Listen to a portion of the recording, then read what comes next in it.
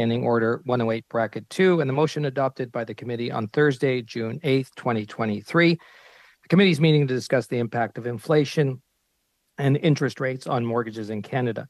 Today's meeting is taking place in a hybrid format pursuant to the House Order of June 23rd, 2022. Members are attending in person in the room and remotely using the Zoom application. I'd like to make a few comments for the benefit of the witnesses and members. Please wait until I recognize you by name before speaking. For those participating by video conference, click on the microphone icon to activate your mic, and please, please mute yourself when you are not speaking. Interpretation for those on Zoom, you have the choice at the bottom of your screen of either floor, English, or French. For those in the room, you can use the earpiece and select the desired channel. A reminder that all comments should be addressed through the chair. For members in the room, if you wish to speak, please raise your hand. For members on Zoom, please use the raise hand function. The clerk and I will manage the speaking order as best we can, and we appreciate your patience and understanding in this regard. Just for uh, a housekeeping uh, item here, we did uh, distribute a budget for uh, for this meeting. I hope all members received that. And uh, just to see if we could adopt that budget before we uh, get going, it was for $7,350. If I could just see a thumbs up from everybody. Okay, great. Okay, it's adopted. So now I'd like to welcome our witnesses. And with us today from the Department of Finance, we have Matthew Emde, and he's the Senior Director, Demand and Labor Analysis, Economic Analysis, Forecasting Division, Economic Policy Branch. We have Rachel, Grasham, uh, Senior Director, of Housing, Finance, Financial Stability and Capital Markets Division, Financial Sector Policy Branch and Robert Sample, who's the Director General of Financial Stability and Capital Markets Division, Financial Sector Policy Branch. And also, we've got Julie Turcotte with us, who's the Acting Associate Assistant Deputy Minister, Economic Policy Branch. My understanding is that Mr. Sample will uh, give some opening introductory remarks and uh, for the uh, for the group, and then we will get to uh, to members' questions. Mr. Sample. Thank you very much. You can hear me okay? Okay. We can. Bonjour. Uh, we are pleased to uh, be here to speak with you today and a couple of opening remarks on behalf of uh, the department, my colleagues Julie, Rachel, and Matt. Um, so we're here to help you with your study on the impacts of inflation and increased interest rates on mortgages in Canada, particularly with respect to variable rate mortgages. These are important issues from a consumer, and housing affordability perspective, and also from an economic resiliency, prudential, and financial stability perspective. The department is actively monitoring this issue, as well as broader housing market developments. We are working with federal financial sector agencies who have a role in housing finance, consumer, prudential, and financial stability issues. This includes the Office of the Superintendent of Financial Institutions, or OSFI, as the independent prudential banking regulator, the Bank of Canada, which includes its responsibility for monetary policy and financial stability, as well as the Financial Consumer Agency of Canada, or the FCAC, from uh, a consumer protection perspective, and also the Canada Mortgage and Housing Corporation, or CMHC, given its role as a mortgage insurer and its broader responsibilities vis a vis housing affordability in Canada.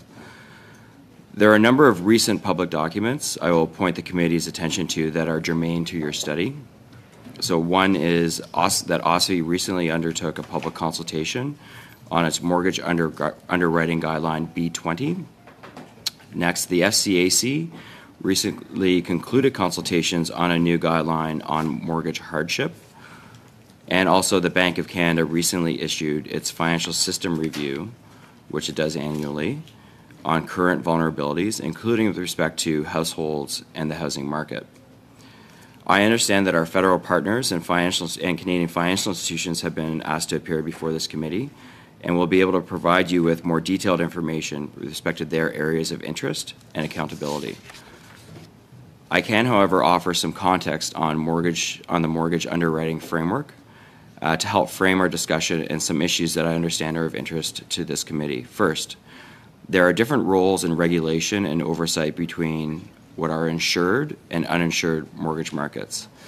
For the insured mortgage market, under the Bank of Canada, uh, sorry, under the Bank Act, mortgages originated by a federally regulated financial institution with less than 20% down payment are required to have mortgage default insurance. The Minister of Finance sets the minimum un- underwriting rules for mortgage default insurance eligibility.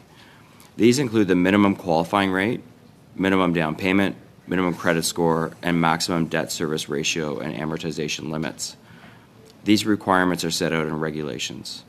Mortgage default insurance is guaranteed by the Government of Canada. The support allows borrowers to purchase a house with a lower down payment and typically at lower interest rates.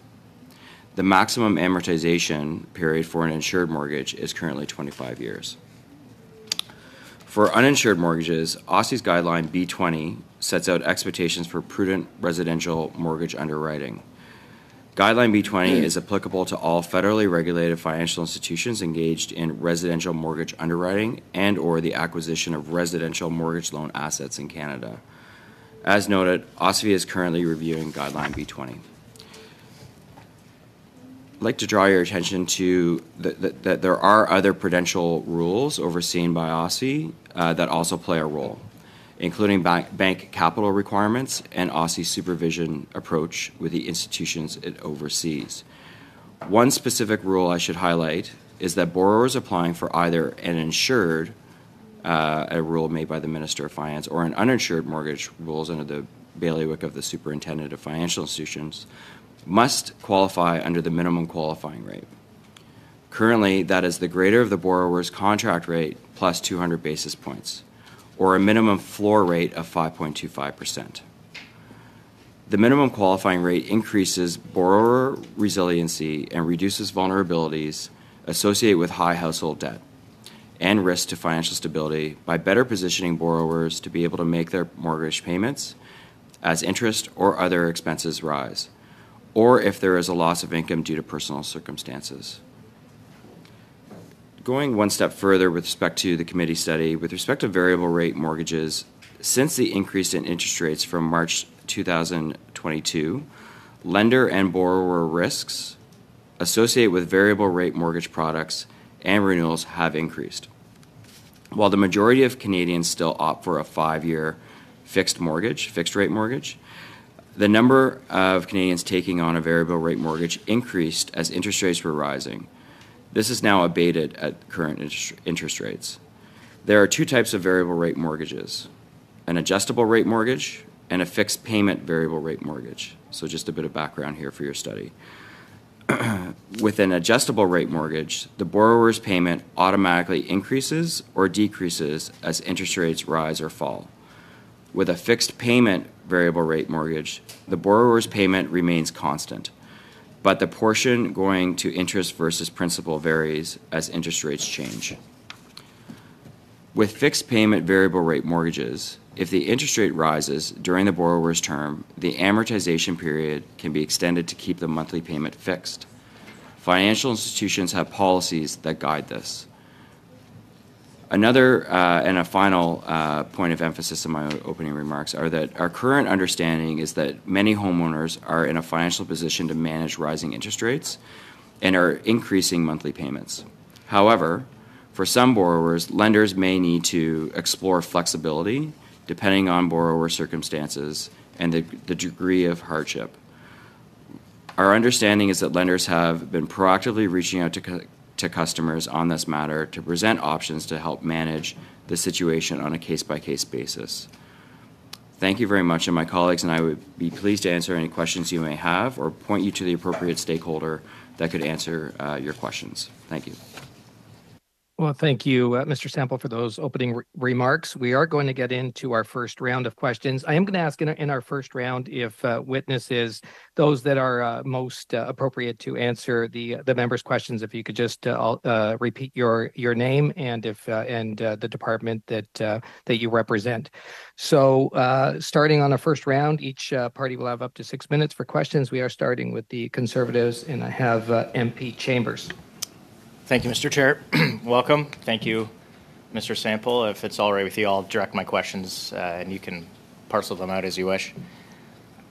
Uh, many lenders, all lenders don't have the fixed uh, fixed payment variable term mortgage, right, as you, as you discussed.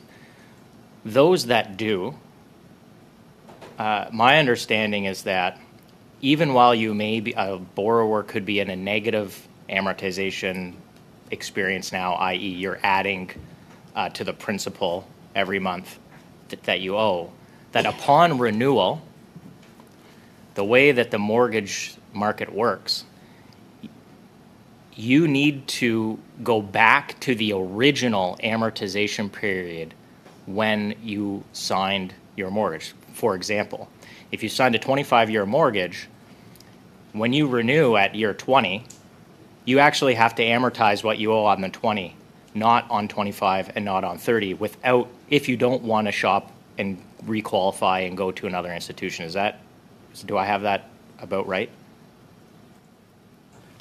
I, I do think generally speaking, you know, different, there are different policies across different institutions, internal policies. Generally speaking, uh, that is what we've heard.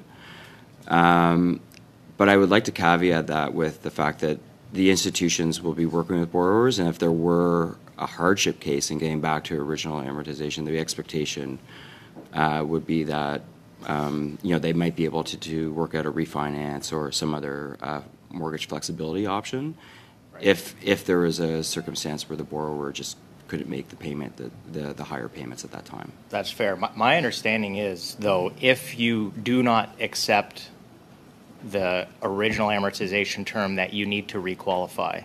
And I think this is where we're going to get into a problem because if the if the house if a house price falls and you need to requalify and it requires an appraisal or for whatever reason your financial situation changes. My understanding is the rule for OSFI, and I understand this to be a good question to ask OSFI, is that you you need to requalify on the B20 guidelines. So interested in learning more about that, but appreciate it.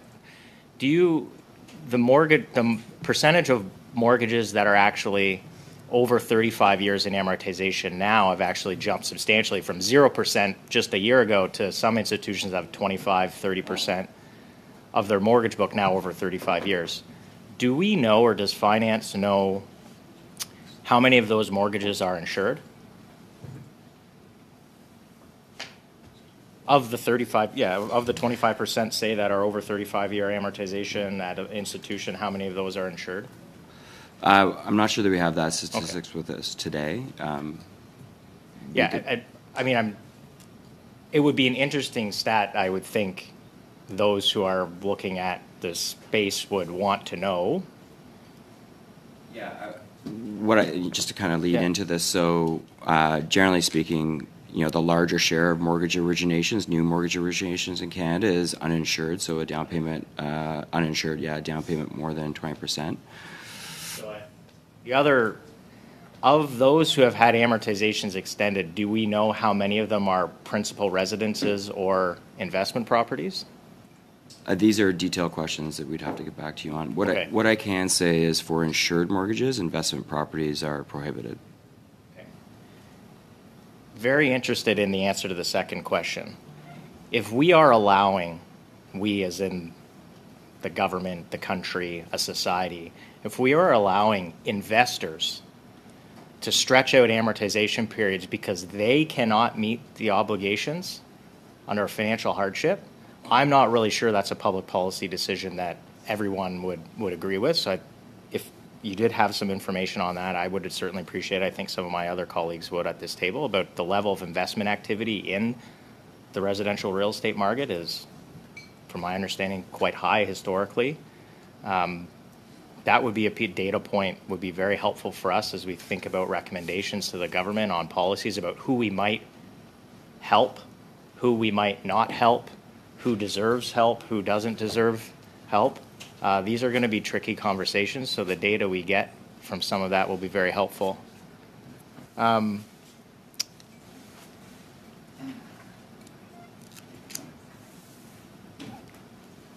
why don't we have a 10 year mortgage product in Canada? Why is, why is there not a functioning 10 year market? If everybody believes the government's line and the Bank of Canada's line that interest rates are going to come down and inflation is going to come down. The most popular product in the US is a 30 year fixed rate, fixed payment term mortgage. There's no renegotiations. I, I'm having a really hard time understand, like, is this something that the department's looked at? You know, how come we don't have a 10-year product? You could blend and extend some of these folks. That's how you could get over a little bit of a hump. Technically, the 10-year rate should be below what the five-year rate is right now. The yield curve's inverted. Is there a reason why Canada doesn't have a well-functioning, longer-term product? It, thank you for the question. Um, that is something that's been asked over over time and been looked into. I think that there's some legal parameters around that that might influence that, including um, and first off, I should say that there are 10-year products uh, offered by some institutions, so it's not prohibited or not that it exists, but I believe provincial interest act requirements also play in. I don't have the specifics uh, on me in terms of like how that manifests itself, but there are some uh, some legal uh, conditions that might guide why there's uh, fewer 10-year mortgages than. than I, am just going to jump in because I'm you. out. I'm Thank out of you. my time. Yeah, but if, yeah. if you had a study that you had produced in the last little while, as or or if you looked at it, if you could provide any research to the committee, that would be very helpful. Yeah, I, I can Thank just you. add to that, and that Thank is. you, MP Chambers. No, we're out Sorry. of time actually for, for MP Chambers, but may, but with the study, if, if uh, officials are able to do that, if you do have something, please, uh, please uh, submit it to the committee. Uh, we're moving to uh, the Liberals and MP Baker, please. Thanks very much, Chair, and thank you all for, for being here today. Um, one of the things I hear about from my constituents in Etobicoke Center is that um, is this issue of how rising interest rates are impacting their mortgage servicing costs. Um, have we seen? Can you talk a little bit about? And I think the biggest fear there's, there's so there's going to be an increase in, in, in interest costs that people are going to have to have to pay if they have a variable rate mortgage. But then there's the the concern about the, the worst case outcome, which is delinquencies, people not being able to pay their mortgages, people having to sell their homes, things like that. Um, have we seen an increase in delinquencies since interest rates started climbing? To answer that specific question, I believe that uh, arrears remain uh, close to pre pre pandemic levels. But Matt, uh, Emde or Julie, would you?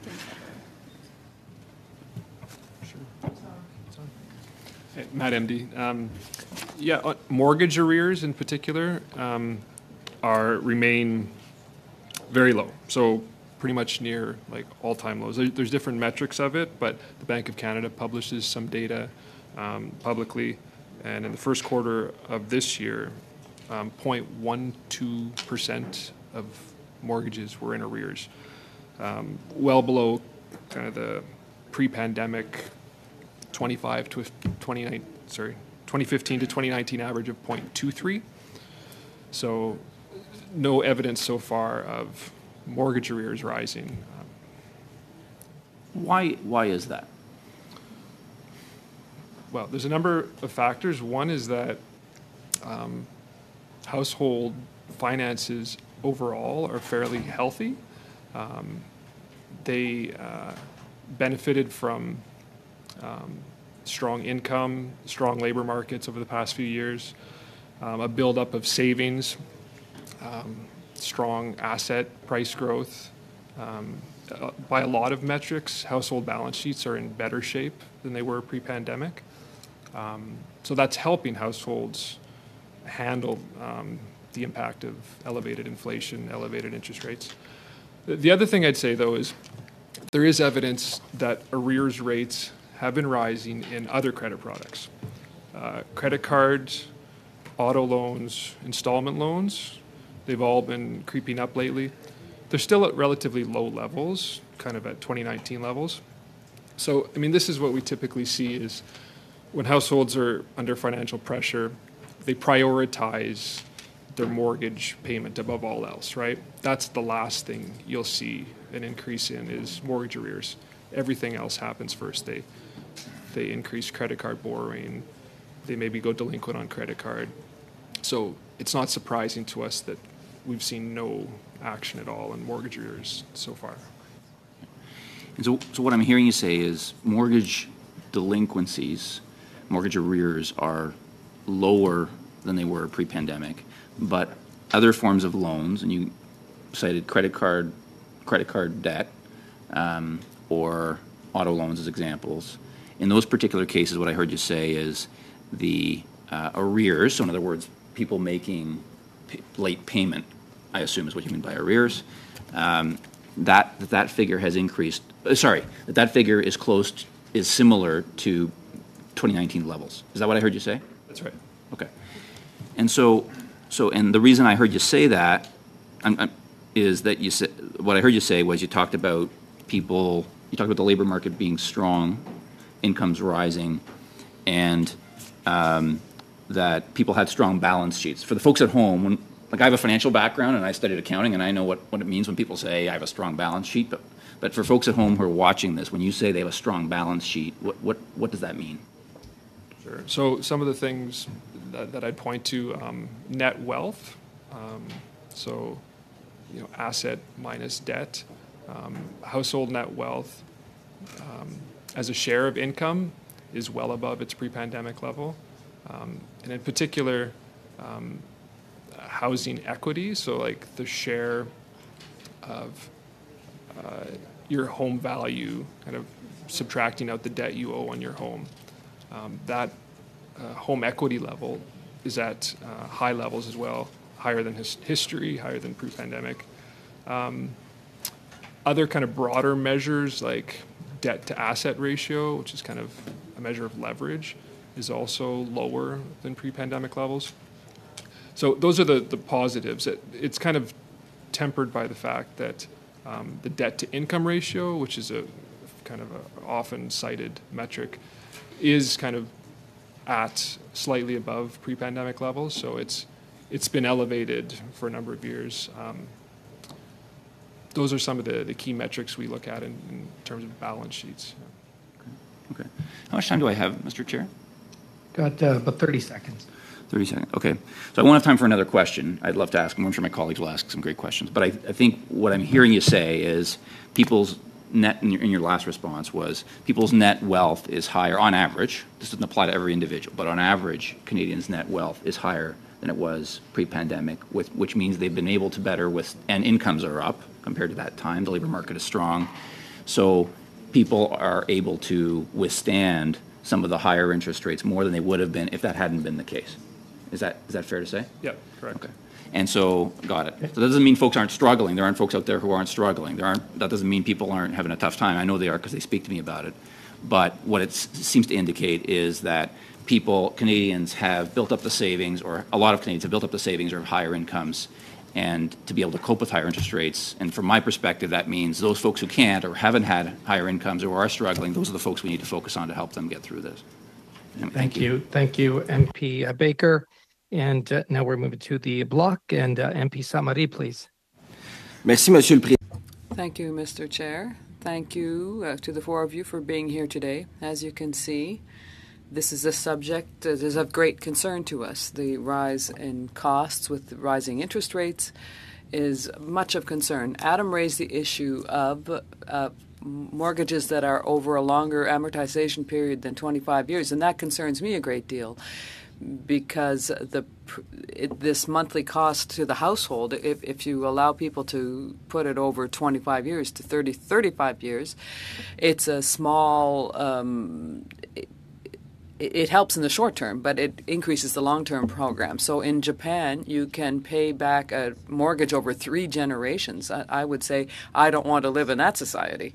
So I have a lot of questions for you. The first concerns the uh, CMHC program the incentive for the purchase of a first um, property.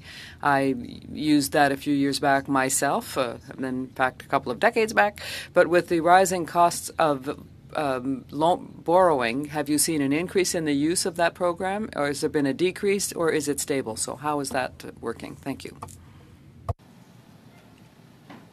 Merci pour la question. Je pense Thank you for the question. I think that it is the uh, incentive, uh, that program, and I don't have the statistics with me, but uh, that I can share today. But uh, it's probably a good question for the CMHC if there have been any changes in the use of that program. Okay, thank you. So if ever you have any information on that to send us uh, as a follow-up, uh, if not, we'll invite the CMHC in July. Huh. So in your department, have you quantified the impact on the market for the different federal programs in terms of housing? So there are a lot of announces, announcements rather, made by the federal government. But have you quantified that?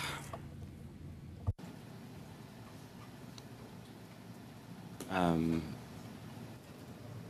merci pour la question. Thank you for the question.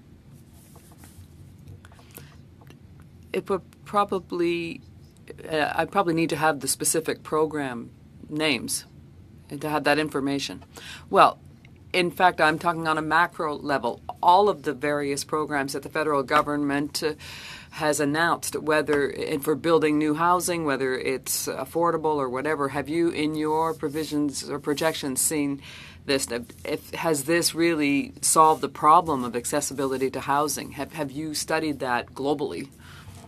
Uh, Faire, euh, Well, if I can make a comment on that comment, it's very difficult to do because some policies, for example, uh, target improving regulations to uh, speed up what's available.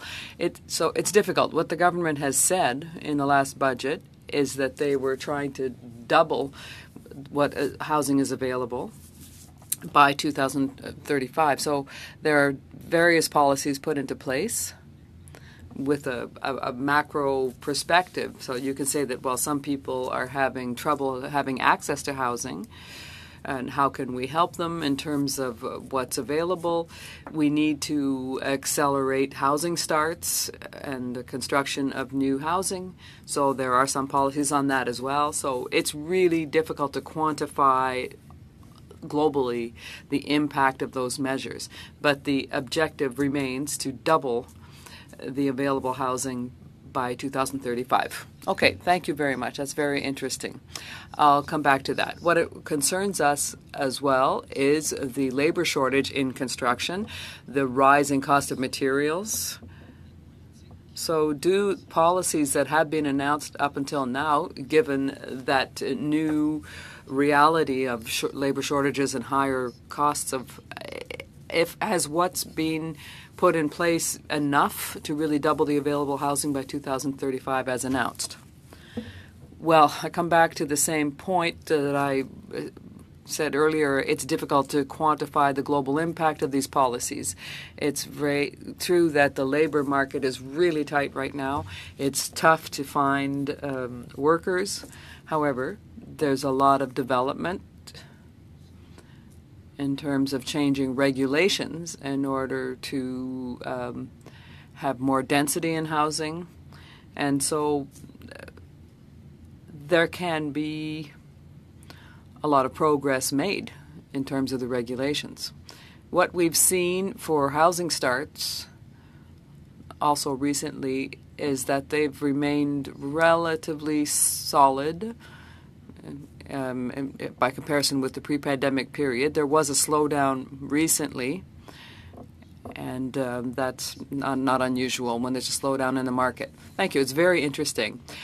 I've um, uh, learned to listen to non-answers in your answers uh, over the past few years here. Another subject: those who have less flexibility to buy a house are those who pay the most for the rising in, in rising rates on variable mortgages. So according to what we see and hear, is that those have the who have variable rate mortgages are mainly first-time buyers and young people. So is that what you're seeing as well?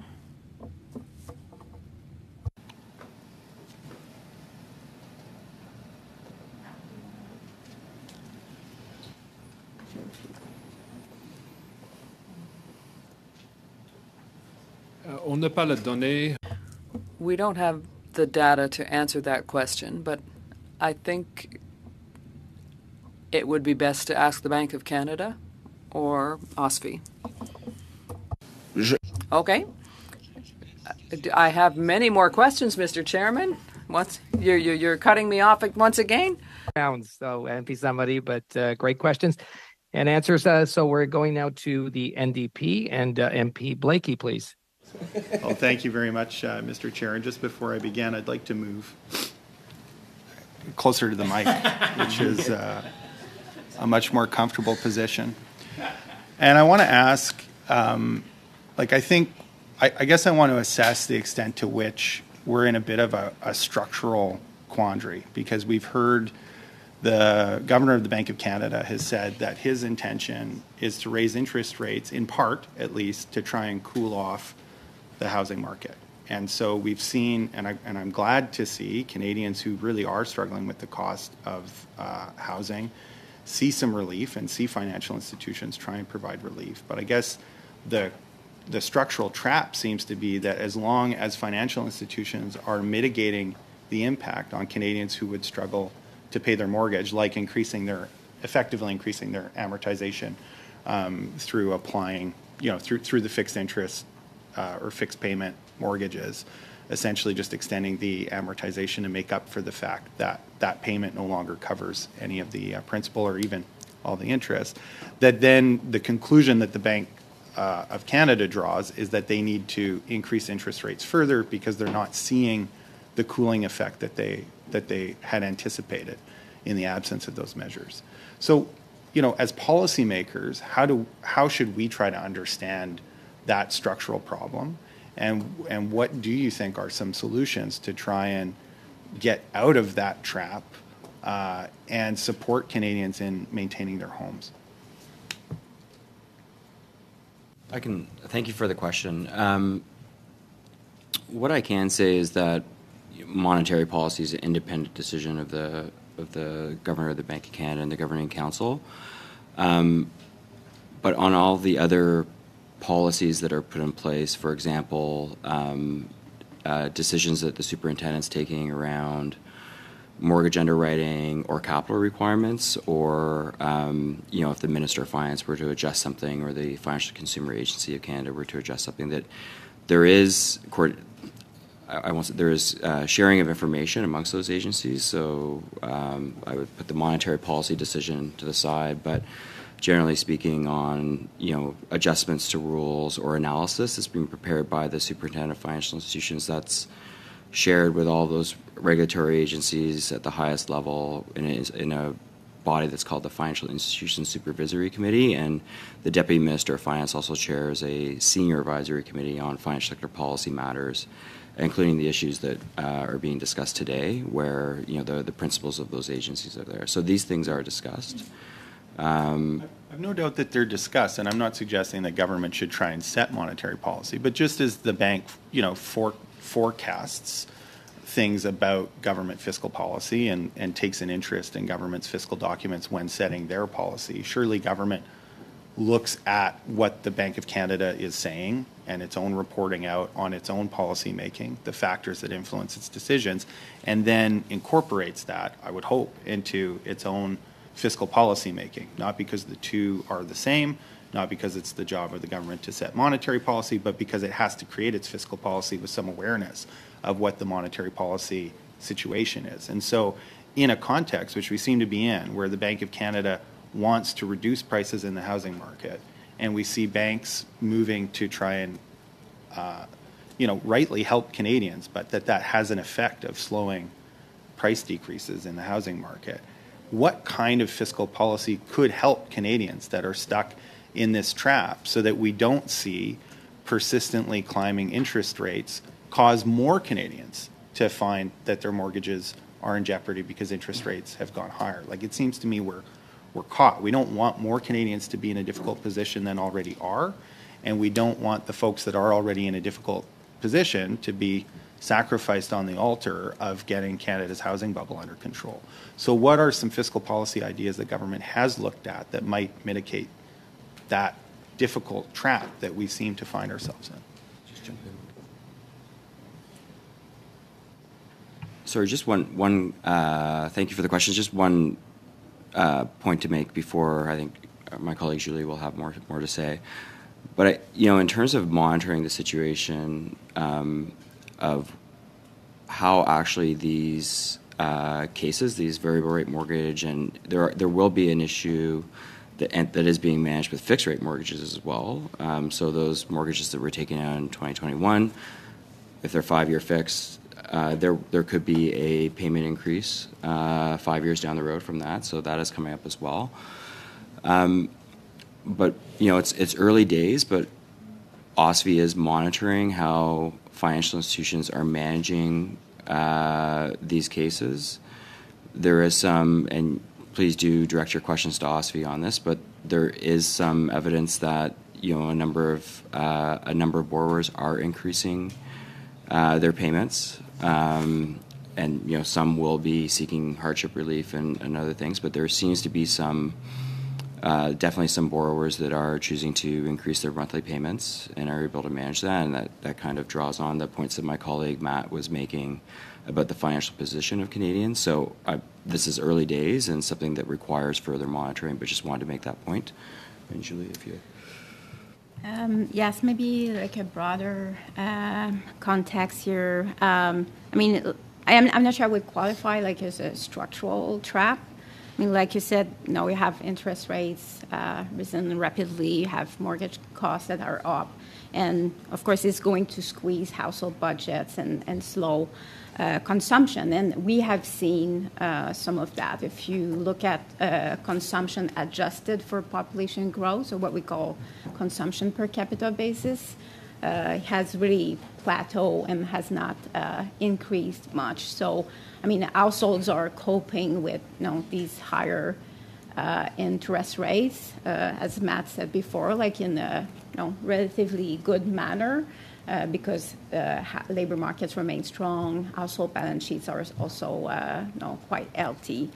Um, so obviously, over time, this will help to slow inflation and you know, will allow for some uh, normalization also in interest rates. So that's uh, part of the process. Um, so, and, and with regards to the, you know, the extending the, the maximum allowable amortization, I think it's no, it's it seems as a you know release valve, right? Because you have some maybe temporary increase in payments, uh, some difficulties to cope.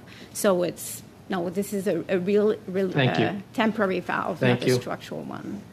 And, and that, uh, members, thank you very much, our witness, and to MP Blaikie. And that concludes our, our first round. We're into our second round now, and uh, I have uh, MP Lawrence up next for five minutes. Thank you uh, very much. Appreciate you being here today. I think this is a, a very serious subject. Of course, Canada is the most uh, indebted nation in the in the G7. Consumer debt is both in popular med- media and in, in academic writings, and a, a very serious issue. And uh, I, uh, I, I give you uh, all my best in trying to to manage this uh, situation as we go forward. Just a couple of questions for you. I want to take this uh, at a fairly high level. Um, if you had to look, if you looked at the mortgage market right now in Canada and you were looking at a green, everything is fine, it's good, yellow, uh, for the most part, it's pretty good, but we have some concerns, or red, we've got some serious concerns. Where would you put the Canadian mortgage market right now?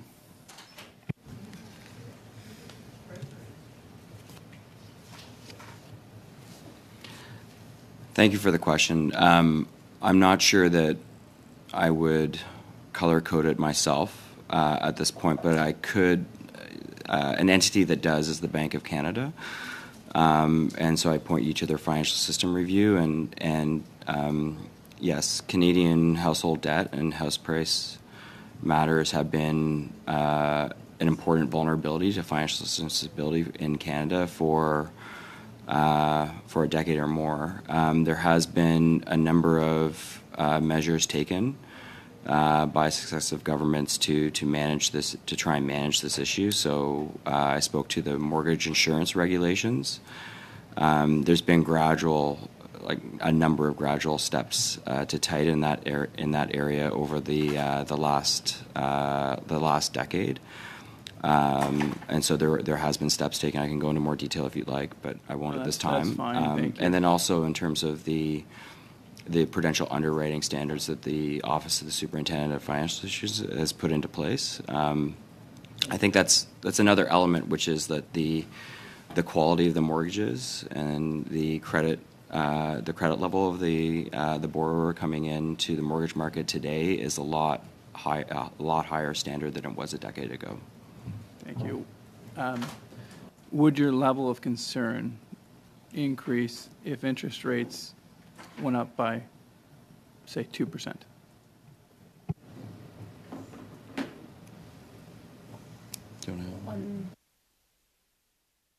Um, OSFI's guideline already stressed it, uh, mortgage at 2% rate differential, right? It- So that the idea was to ensure that households can uh, cope and, you know, be resilient. But, sorry, Ms. Turcotte, those, those have, those, some of those mortgages might have been tested with a two percent increase when, in- when interest rates were three percent lower, um, right? And so if they went two percent higher, uh, and their existing mortgages that might have been stress tested at three or four percent, and now they're at five or six or seven or eight percent, I mean, let's call a spade a spade, I, I would think you'd be concerned.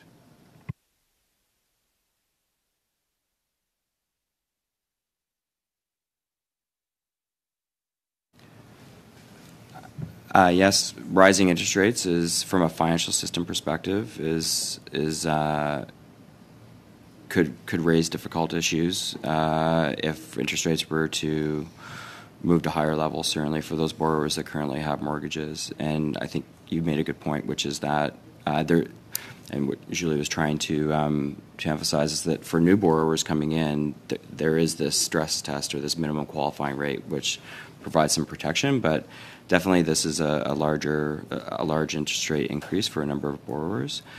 Um, at current levels, as I mentioned before, what we're seeing is there are, there is there are borrowers that are managing the payments, the the payment increases. Uh, Thank you, thank, you, uh, um, and uh, uh, very much appreciating your testimony. The, is there a tipping point where you would be, whichever adjective you wish, very significantly or otherwise concerned? What, what interest rate would it be at a, uh, at six, eight, ten?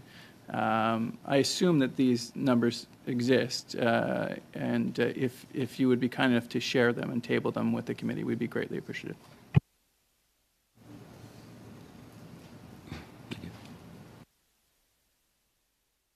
So if you, will you, that- will you table those documents?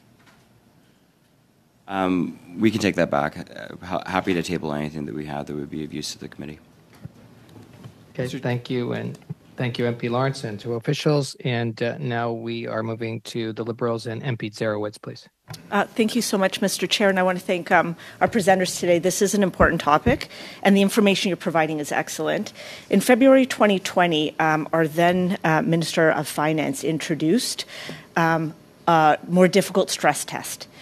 Um, do you believe that the, the measure that we introduced then has actually contributed to the low delinquency rate that we are seeing right now?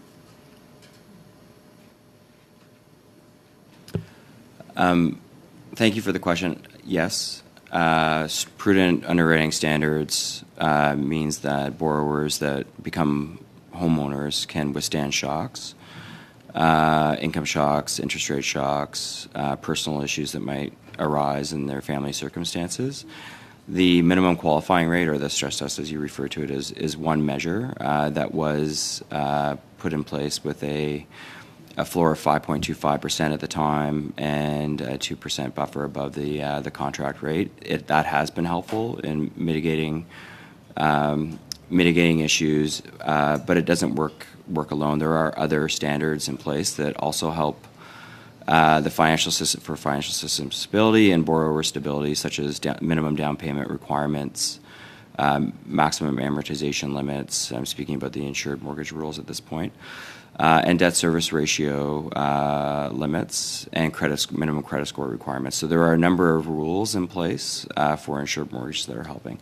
Similarly, with um, with uninsured mortgages, uh, the the focus of the superintendent of financial institution and his office on this matter over the last number of years uh, certainly will be helping, uh, has helped uh, mitigate potential issues in this area.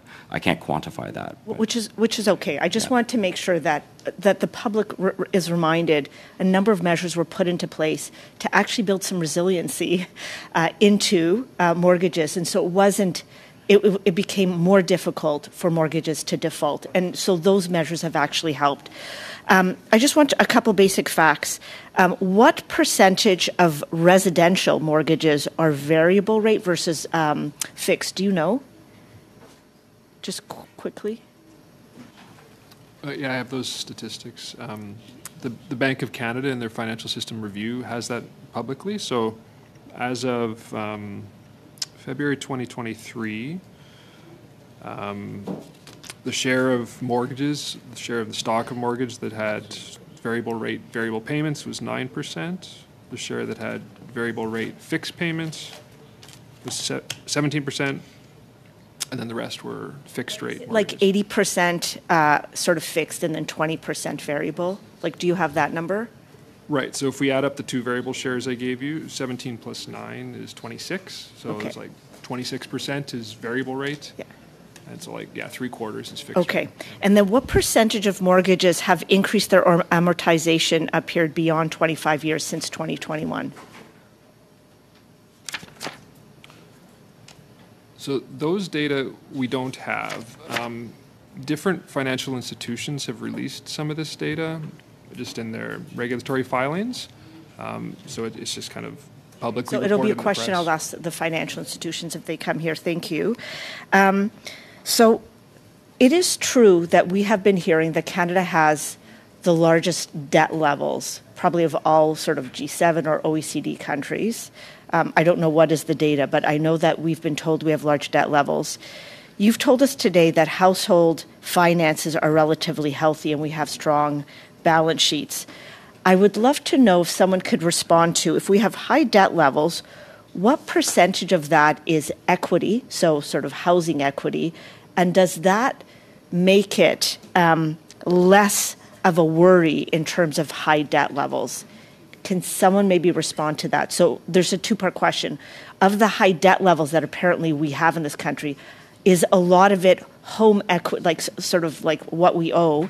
And then does that make it a healthier type of high debt level? If you can, if you could respond to that.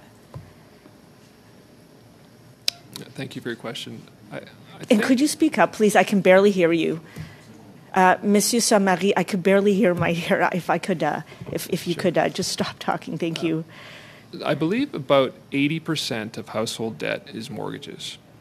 Um, so, to the extent that you think of that debt as different than other debt because it's linked to an asset that appreciates, um, yeah, I think what you're suggesting is, is reasonable. Um, that doesn't mean it's all. s- Barely hear you. Please speak up. That, that doesn't mean obviously that there's Yeah. no risks involved Yeah. with housing debt and housing assets. House prices can fall? And that's the time. Uh, but thank you, MP at Dzerowicz. And uh, now we're to uh, the Bloc and MP Ste-Marie for two and a half minutes. Merci, monsieur. Thank you, Mr. Uh, Chairman. And my first of all, my uh, apologies to Julie. I'm, I'm sorry. Um, I was chatting with with, uh, the, with, with Daniel while he was speaking, and uh, I'm I'm sorry. As I only have two and a half minutes, I'll ask you two uh, questions uh, right off the bat. First of all, with the increase in interest rates, do you think that there will be more houses and condos uh, being purchased? Do you think you'll see a decrease in prices? So, if so, what breakdown would you make of that? That's the first question. Second, do you have an estimate of personal bankruptcies uh, that might be related to the increase in in, in mortgage um, rates? And I'm sorry once again, Judy. Merci pour la question. Thank you for the question. In the end, yes, there's clearly a connection between the increase in interest rates and housing costs for prices. We've already seen the prices go down uh, some 15 to 16 percent between the beginning of 2022 until the spring, this spring. So that's already happened. But it seems that the housing market has found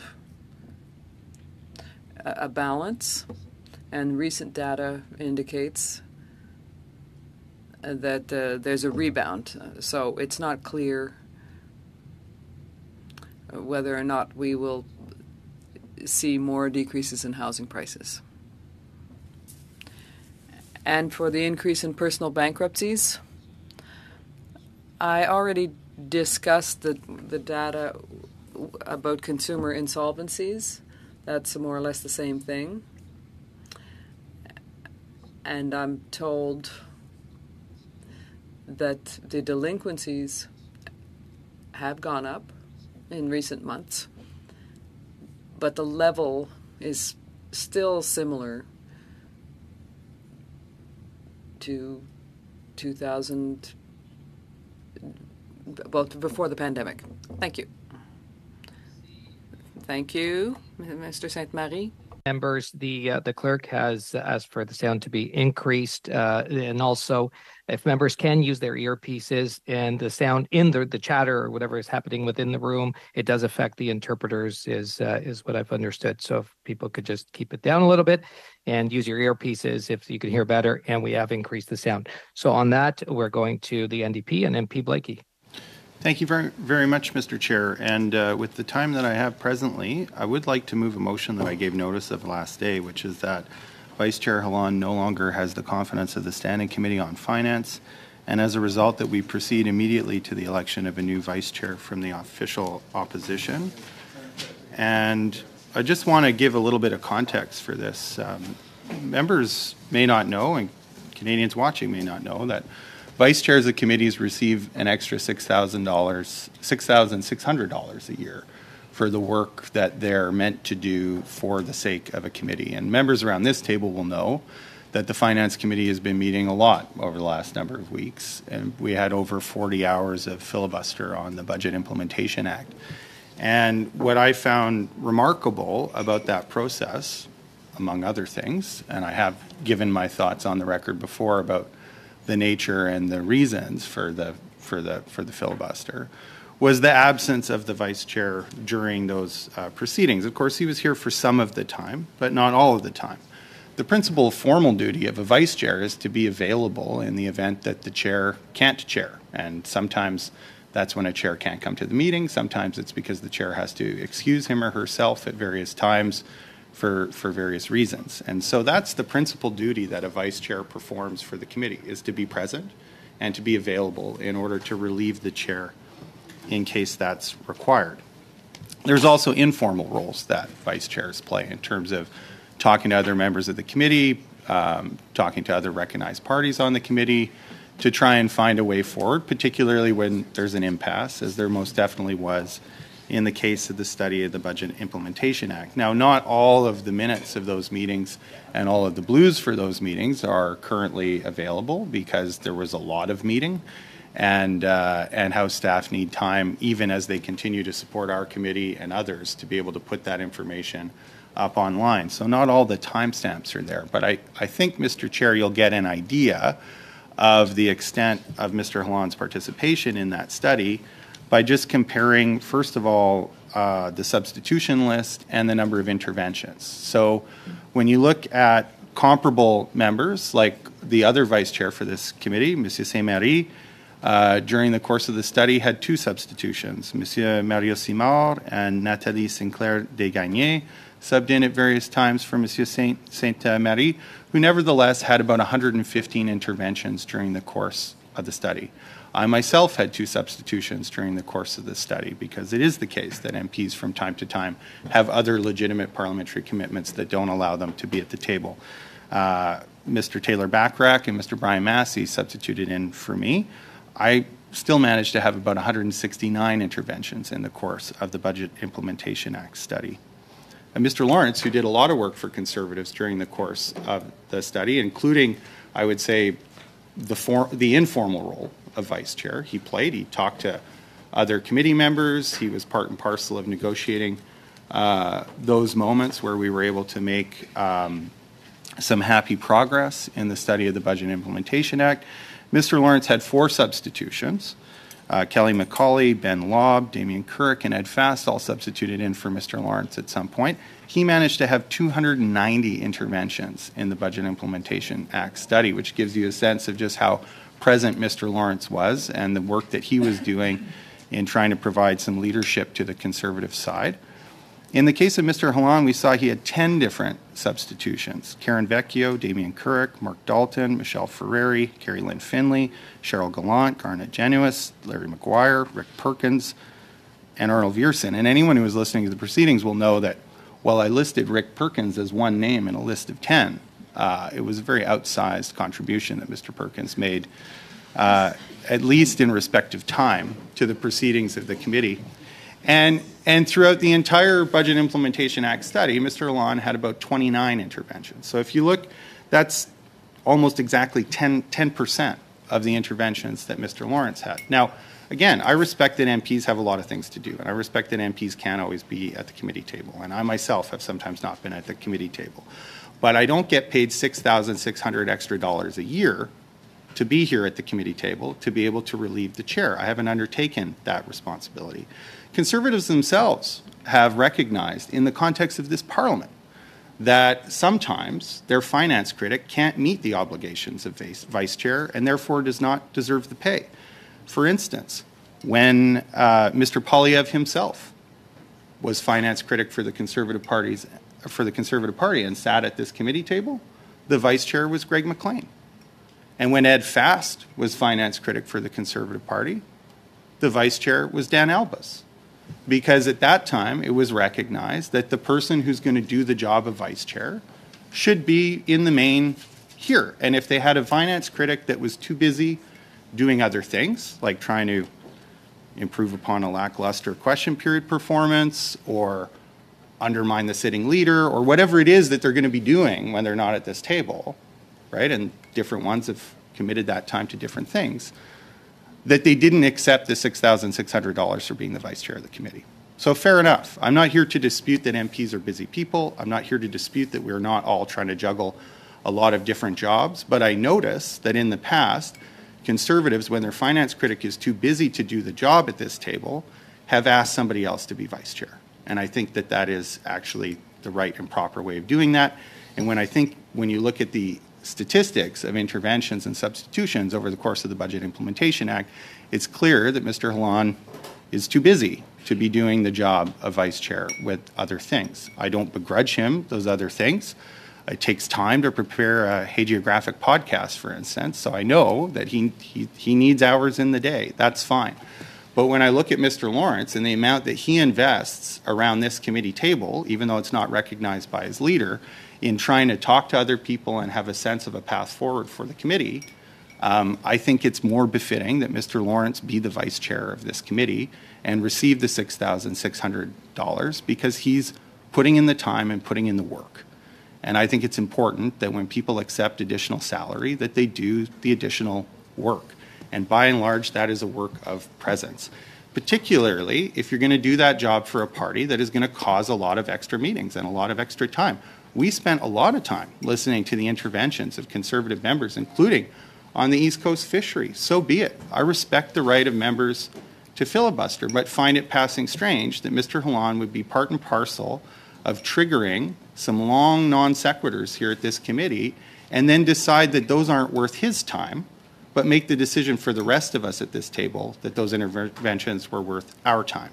And I think it would have been an important act of leadership on his part to be here for the speeches that he argued were an important part of the Budget Implementation Act study. I may very well argue differently, in fact, have on the record in other places. It's his contention that those were important speeches for us to listen to. He ought to have been here to listen along with us. And I think the fact base clearly shows that he did not provide that leadership. But that Mr. Lawrence was here for those things. And Mr. Lawrence was accomplishing the role that Mr. Hallan ought to be accomplishing. And so I think as a committee, we're not here to judge Mr. Hallan's role as finance critic. We're not here to judge his role as MP. We're not here to judge how he spends his time. But we are in a position to judge whether he's doing us a proper service as the vice chair and fulfilling those roles. I think we would be better served by the situation that conservatives have put in place before, where their, where their finance critic is not the vice chair. Because there is someone here who's doing the work of vice chair. That person has made it a priority to be here. I don't doubt that Mr. Lawrence is busy with other things and that he has obligations to his riding, that he has obligations to his party, that he has to fulfill outside the context of this table. But he's nevertheless made it a priority, at least to be here. Um, if nothing else. And I think that that is an important component of being the vice chair. So it's why I think this is an important item of committee business. I recognize we're getting ready to rise for the summer. Uh, and I think it's important that we deal with this before we do. So that's why I'm bringing it forward uh, at this time, before there is no more time, in order to address this question before rising for the summer. Thank you, Mr. Chair.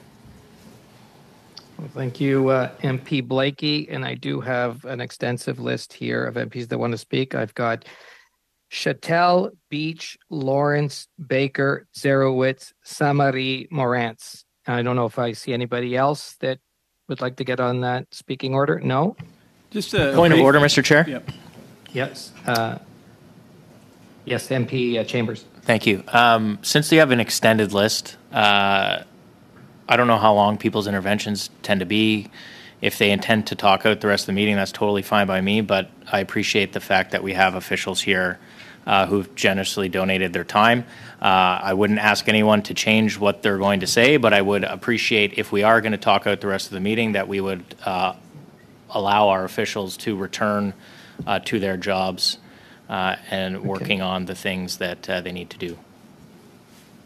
Okay, thank you, MP Chambers. I can't presume what members are going to do, but uh, so we all will move into our speaking order first, and we'll just uh, hold officials uh, with us for the time being. So we're starting with uh, MP Chatel. Euh, Merci, Monsieur le Président. Thank you, Mr. Chairman. And uh, listen, it's a bit strange to hear this from my colleague to say all of this. And I agree uh, that if we're going to spend the rest of the meeting on this, that we should uh, free up our witnesses and go back to work. Be- it, this is ironic because we had three weeks, three weeks where we invited witnesses, and for hours the witnesses sat there listening to the conservatives filibuster.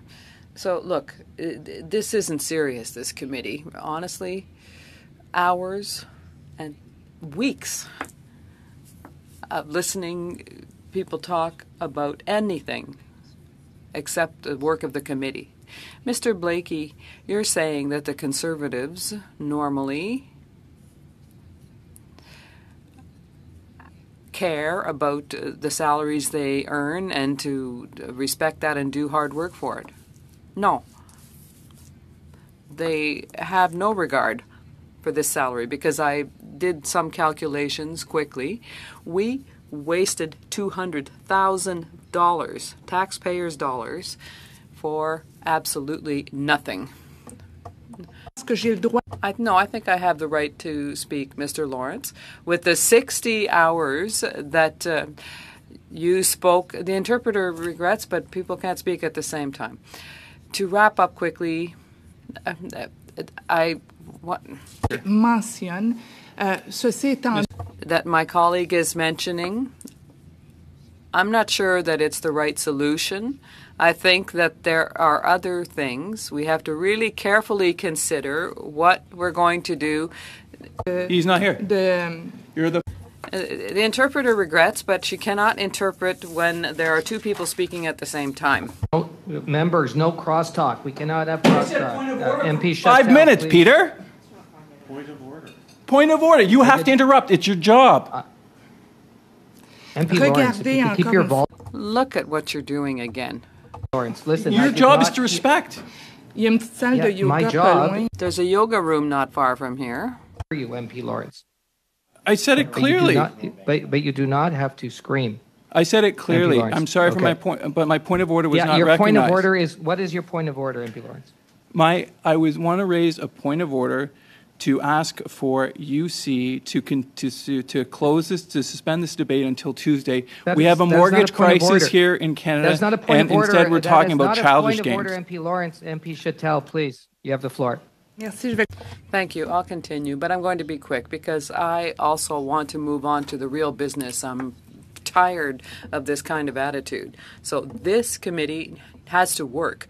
We have important issues. We have important witnesses we need to hear from that we weren't able to hear from because of what the conservatives did.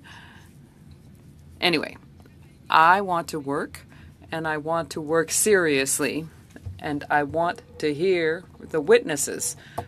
We have witnesses here. Oui. His mic is on. Yes. If I if they could stop interrupting me, Mr. Chair, I have a point. if he would like to let me continue, I did hear a point of order right now. Uh, MP point of order from, I think it was MP Morantz. Yes, Mr. Chair, I would like you to rule on whether or not Mr. Blaikie's motion is actually in order. And and the reason I'm asking you to, to rule on this is because I have in front of me the House of Commons Procedure and Practice 20 committees. It says, "The role of vice chairs of committees serve as replacements, presiding over meetings when the chair is unable to attend. All the chair's powers can be delegated to the vice chair, but the vice chair cannot preside over a committee meeting while the office is vacant. My point is that none of the arguments that Mr. uh, Blaikie made in his presentation of the motion have anything to do with the only codified role of uh, vice chair, which is to fill in for you when you're un- unavailable. So I don't think the motion is in order because none of the points he made has anything to do with the actual role of a vice chair. So I'd like you to make a ruling on whether or not Mr. On the, on the same point of We- order, yeah. on the same point of order, Mr. Chair. Same point of order. Uh, Mr. Morantz, of course, will know that I served notice of two motions on Tuesday, one uh, orally at committee and the other one in writing. The one that I've moved simply says that Vice Chair Hallan no longer has the confidence of the Standing Committee on Finance, and as a result, that we proceed immediately to the election of a new Vice Chair from the official opposition. And I would politely disagree in that I think one of the main arguments that I just made, if Mr. Morantz had been listening, was that in order to fill in for the chair, the vice chair cannot be absent because there's no way, unless you're sitting at the committee table, either in person or virtually, for you to step in for the chair if the chair requires to be relieved. And so that speaks exactly to the formal role of the vice chair. So uh, perhaps uh, Mr. Morantz would like to tune in to the proceedings of the committee. Uh, Mr. Thank- Mr. Chair. thank you, MP that- Blaikie and MP Mr. Chair, Morantz. on my, on my point of order, um, I, I, I hope that the language around this table remains respectful, and I do uh, think that asking me if I'm tuned in or not is quite, quite condescending. But in any event, um, the fact of the matter is that Mr. Hallan has only replaced you on one occasion, where he acquitted himself very well. So that, Mr. that- just now one we're sec- getting, ju- now we're getting. Just into one the second, of let me just MP finish this one, Morantz. We're- Mr. Chair. we're- Okay, quickly. be- One, one quick last, one quick last point. Mr. Blaikie knows all too well that in the absence of the first vice chair, there's a second and a third vice chair who's Okay, quite we are capable of getting stepping in, in. we are This is getting, in- debate. okay, thank you, MP Morantz. We're suspending right now. I will confer with the clerk. I will get back to members. We are suspended.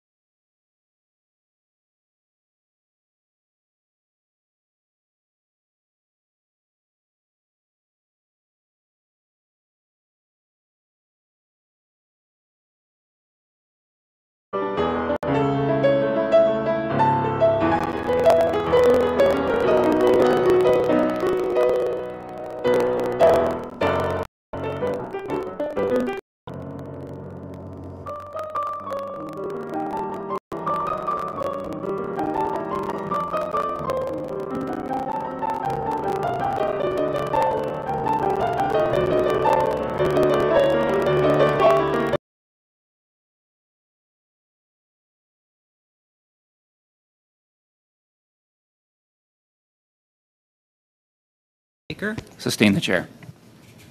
Mr. Beech, Sustain the chair. Madame Chatel, Sustain the chair. Ms. Dzerowicz, Sustain. Mr. MacDonald. I see Mr. MacDonald as a thumbs up. Mr. Chambers. Thumbs down, Mr. Chambers. Mr. Hallan, Overrule.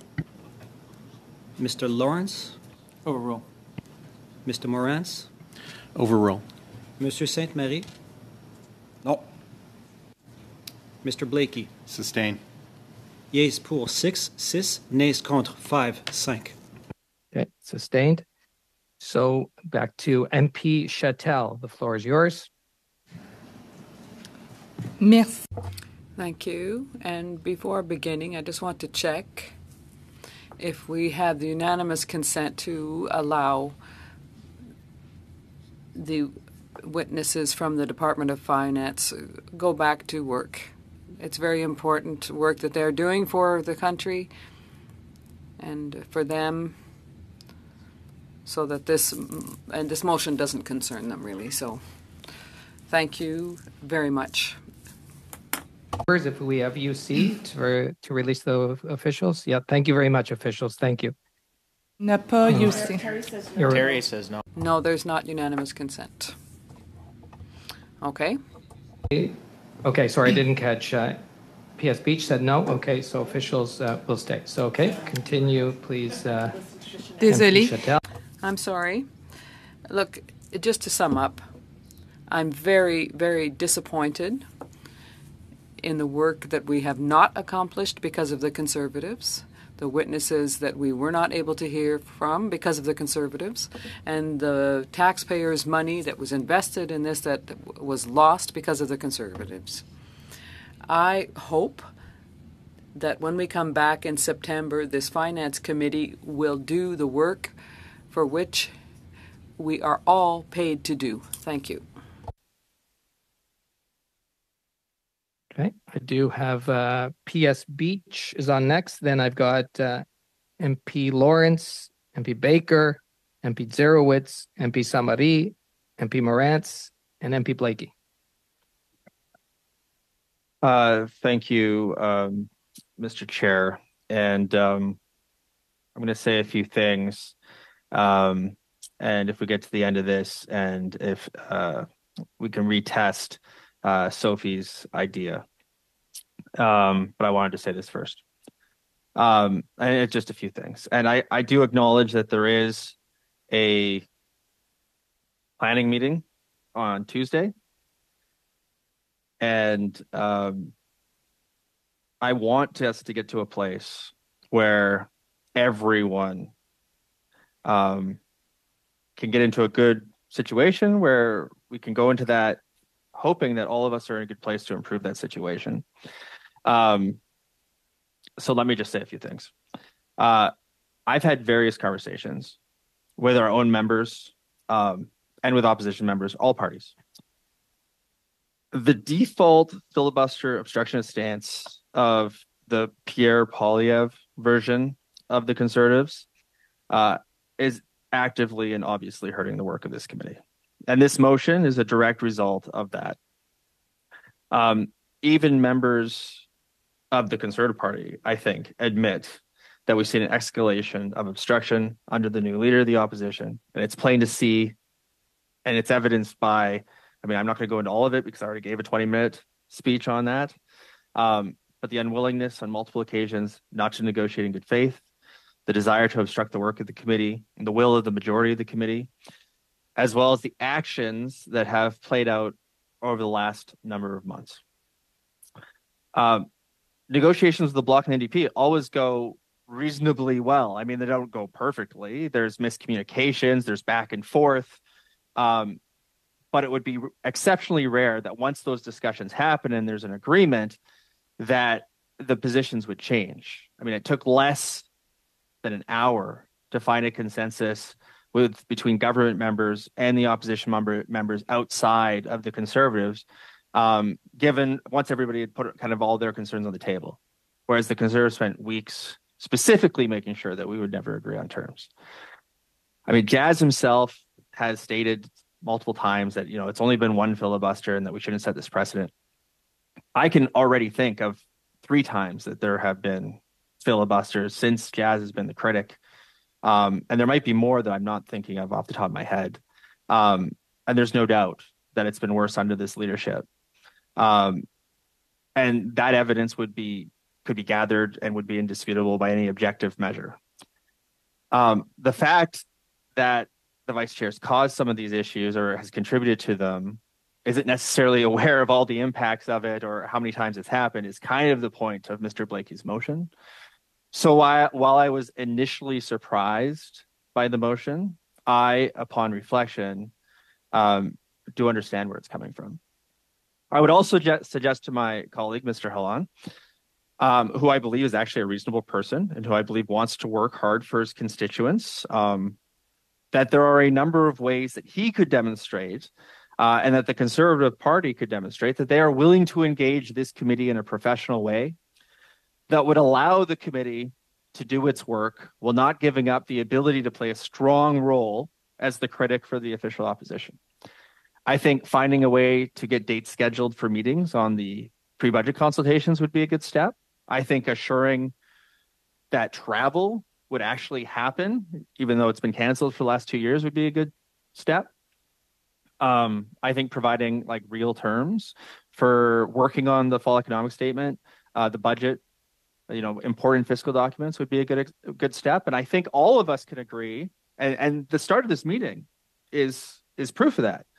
That we need to spend less time debating the work that we're going to do and how we're going to do it, and instead spend more time actually doing the work. And Daniel said that a few times, and I think that sentiment is shared by all of us at some level. And listen, I know that there are things that are outside of our members' control. There are discussions and decisions that happen outside of this committee, whether they be the standing orders, the chamber itself, thing, discussions that happen at the whip's office, the House leader's offices, but certainly the Conservatives leader's office shouldn't have to be consulted for every single decision on every single negotiation. We should be able to have a responsible decision because a discussion because after all, this is an independent committee of MPs, or it's supposed to be. And as members of parliament, and I truly believe this, we have a duty to work together on legislation to make it better. There is good work that can be done here. Some of that good work was actually already happening today with regards to the mortgage study by continuously filibustering legislation for no other person uh, purpose than to obstruct it, you actually hurt constituents, you hurt the legislation, you hurt the country, and you hurt the ability for us to do more studies like the one we're discussing today. And the BIA would have been better if you had contributed your ideas. And if you choose not to participate, fine. But you should allow the other opposition parties to contribute and debate their ideas as well. The quality of the decisions made at this table and in parliament directly correlate to the quality of the debate and you do everyone a disservice by choosing not to engage in that debate and you do damage our democracy by taking that right away from other members around this table. I've served on many committees before finance and i've been happy to work with members to incorporate amendments from all parties that includes the conservatives the bloc the NDP, and the Green Party. And I was happy to incorporate those amendments into legislation drafted by the government because they were good amendments and they were good ideas. So, lastly, I'll say that I think there is a path forward, a positive path that can lead to a better place for all members of this committee, no matter which side of the House you sit on. But I also note that I'm not certain at this point that this motion will have a constructive impact on improving our working relationship, uh, especially given the fact that I'm not sure how blame should be distributed between individual members of the committee versus the actual leader of the Conservative Party. I would also note that we have witnesses here for a study we all agreed to spend the day working on, which is why I was not willing to support unanimous consent for them to be removed because I still feel like we could get back to that work today. So I know that there are members around the table. I was hoping to adjourn debate on this and go back to the, the witness study, to be honest with everybody there. And I still feel that I support that. but I do not want to take the right of my colleagues to be able to say what they want to say about this motion. So I'll just put on the record that I'm in favor of adjourning debate on this and going back to the mortgage study today. Um, but I want to make sure everybody has their their time to say their piece as I've had my time to say my piece. Thank you. Okay, well, thank you, uh, PS Beach. I will run. Th- Merci beaucoup. Je vais suivre l'ordre de prise de parole. Nous passons à Monsieur Lawrence, Monsieur Baker, Sainte-Marie, Blakey, Morans. Monsieur Lawrence, c'est à vous. Je propose de lever la séance.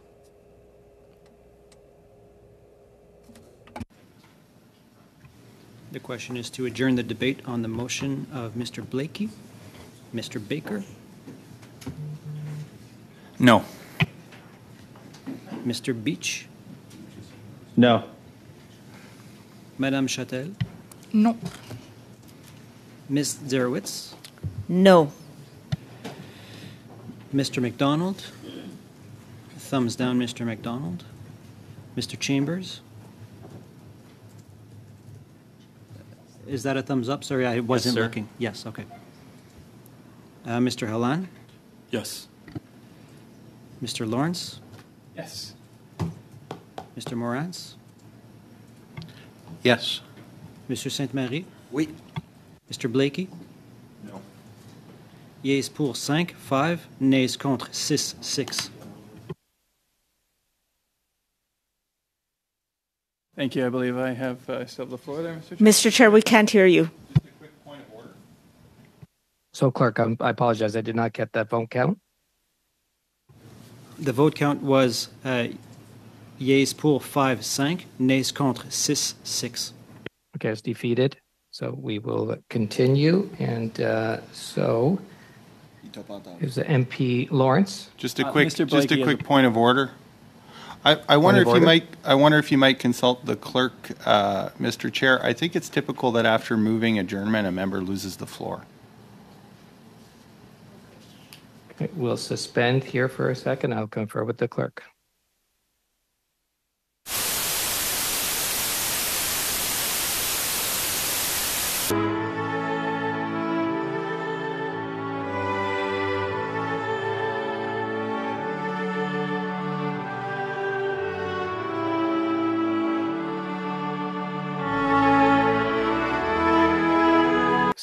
MP Lawrence?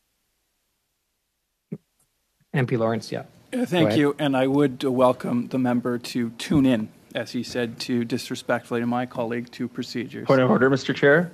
A point of order. I would just like to be helpful to my colleague as we, we sent some notes and I don't know if he's had time to check his text message, but I do support adjourning debate as long as my fellow liberal colleagues have the ability to put their, what I would assume would be short remarks onto the record. Okay, that's not a point of order, but thank PS Beech, thanks. Uh, And I did get another I, uh, MP Chambers. You want to be added to the list, right? Is No. my understanding? Yes? No, I'll take my name Okay. off. Okay, your name is off. And uh, back to uh, MP Lawrence. Uh, Thank you, and uh, while not a point of order, very much appreciated uh, from Mr. Beech. Um, I will just very briefly put a couple of uh, remarks on order and then uh, hand it over to my Liberal colleagues, and uh, as long as they're brief, because we only have, what do we got, uh, 24 mo- minutes left or so, uh, and like I said, this is an impending crisis, a ticking time bomb, as, as an article I'm looking at right now with respect to the mortgage market, and uh, it's sad that we have to put up with these childish games. Um, the uh, so this all started. If there's anyone who needs to be removed from their post, it's the Minister of Finance. She has she has disregarded multiple invitations from this finance committee. Her sole job is to manage the finances and to report back to the Canadian people. We are the Canadian people's tool for her to express her expression. It's not the media, it's Parliament. That's why the Magna Carta was drafted 800 plus years ago. That is why Parliament exists. And so she has flagrantly, flagrantly disregarded the invitations from this finance committee.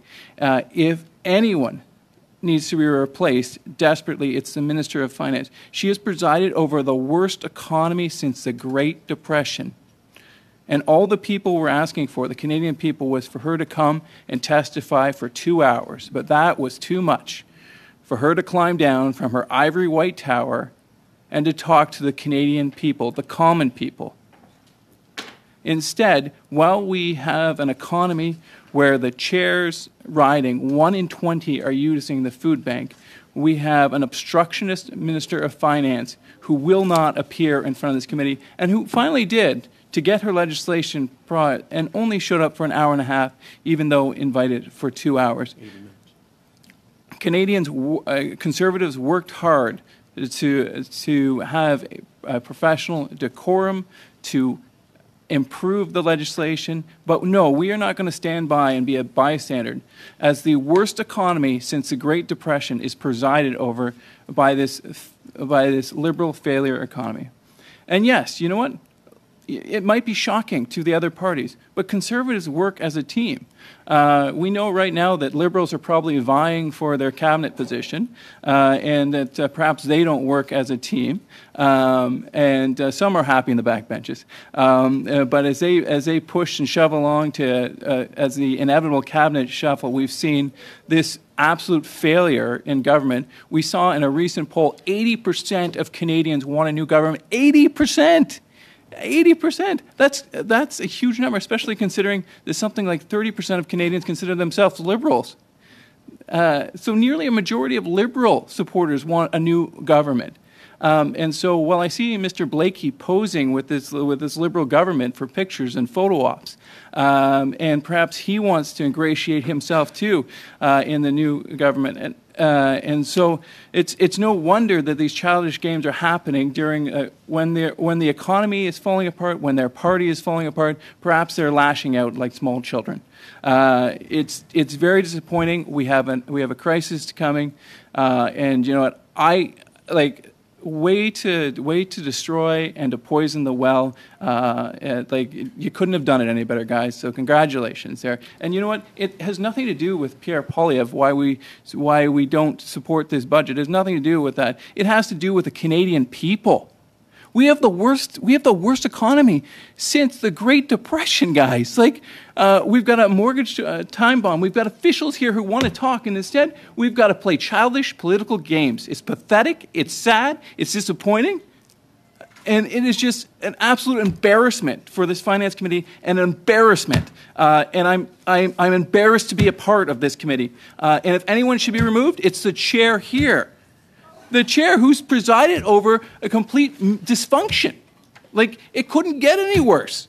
So, Daniel, if you want to remove someone, remove Peter, right? Re- remove the Minister of Finance, who won't come for two hours despite multiple invitations there. So, with that, I'll let you guys have your piece. Just a, just a quick point of order, Mr. Chair. A point of order. Uh, the last person to accuse me of childish games just two weeks ago was uh, Minister Freeland herself. I see Phil is taking his speaking direction from the minister. Thank you, MP, that's not point of order, but thank you. And uh, off to MP Baker is next, then Dzerowicz, somebody, Morantz, uh, Blaikie. Thanks, Mr. Chair. Um, so I'd like to start by um, by thanking Daniel for bringing this forward. I think it's um, I think it's really important that we have this discussion, and, and I want to thank MP Beech for um, for for for for making sure that that all the members that want to speak have a chance to have their word heard, their voices heard in this discussion. Um, I'll start by saying that I'm not going to repeat for the sake of time, but I but I want to say I agree with the vast majority of what Mr. Blaikie said in his opening. Um, I also want to say that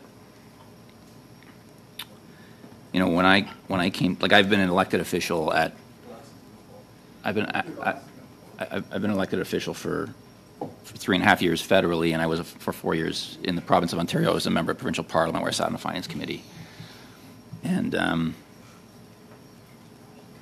and I've like I've debated with members of all parties on a range of issues, um, and I've disagreed with folks on a lot of things, and I've seen a range of arguments used. I've seen a range of tactics used.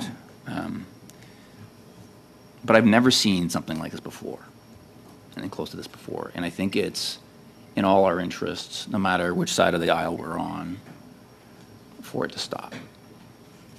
I just think it is. And, you know, when I remember when I came to this committee, um, I had a chat with, I think one of the first people to come to see me was Mr. Ste-Marie to say hello, to dire bonjour. Um, on va travailler ensemble. Uh, we work together. We've done something very positive and optimistic in terms of our work together, and I appreciate that a great deal. I don't always agree with Mr. Ste-Marie, but uh, I feel that Mr. Ste-Marie tries and makes a very constructive contribution to this committee, and I greatly appreciate that. Blaikie early on in those first in that first meeting when he came to this committee, and and I I, I, I the same what I said about Mr. Ste-Marie, I would say about Mr. Blaikie as well, and his contribution to this committee. We don't always agree on everything, um, contrary to what the Conservatives would like people to believe, um, but but I'm okay with that. I don't I don't harbor resentment that we disagree with each other. Um, when I, I had a chance to have similar conversations with our friends from the Conservatives, and and those conversations were very similar as well. I look forward to working with you. Um, look forward to getting things done. I remember having conversations offline uh, with with members of the Conservative Caucus, uh, Conserv- Conservative Committee members over the course of the time I've been here and with Mr. Hallan and with Mr. Chambers and Mr. Lawrence, Mr. Morantz. And I remember Mr. Hallan telling me about, I won't talk about that on the record, but I will say, I remember Mr. Hallan talking about his background, um, his work in, in his community over the course of years and what led him to run for office. And I actually found that really um, poignant and memorable. And Mr. Lawrence has shared similar comments with me. And I found, um, I found, for example, Mr. Chambers to be, you know, someone who's capable of conciliation uh, and compromise uh, and productive work across the aisle in a way that that very I think I think he does so in, in a way that um, he's capable of that in a way that many members are not. And I think there's others around this table who are capable of that as well. But I think Mr. Chambers um, has done that over the over the course of the last number of months. So I share that to say that my disappointment stems from the fact that whether you think the minister should appear for one hour or 30 minutes or two hours or 10 hours, whether you think the economy is doing well or not doing well, whether delinquencies are too high or they're not too high, whether we're doing enough to support Canadians or not support Canadians, no matter what you, your views are, um, you're entitled to them because you are here to do a job on behalf of your constituents to represent them. And how you do that and, and, and what their views are, I don't harbor resentment for any of that. I think what disappointed me the most was when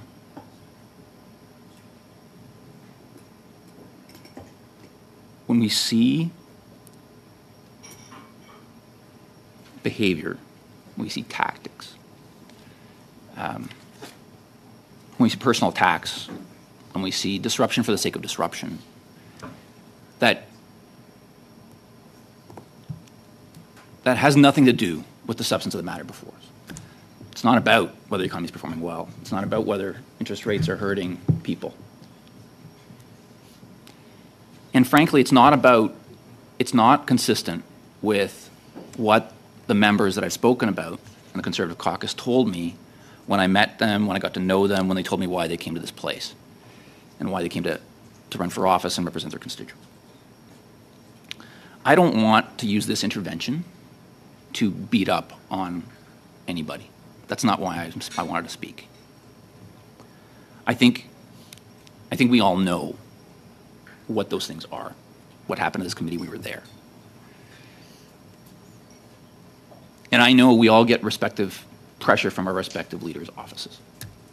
We all get it. Let's be frank. That's the system of government we're in. I think what I would say is, is that Mr. Hallan, I, like I, Mr. Hallan, I appeal to you. I ask you to remember that conversation that you shared with me as to why you ran for office and some of the work you've done in your community. I think what, what upset me the most about what happened here over the past few weeks wasn't that there were lots of reasons I was disappointed, but I think it wasn't even about the time we wasted. It wasn't about taking it to a new level. It wasn't about the rhetoric, although that was very upsetting. But but what upset me the most was it wasn't consistent with what I thought, what I heard in those initial conversations about why we're here. And I, I didn't recognize the members who I thought I knew. And so I'm not here to beat up on people. What I'm here to say is anybody who wants to know what happened in this committee can go back to the record and they can listen, they can watch.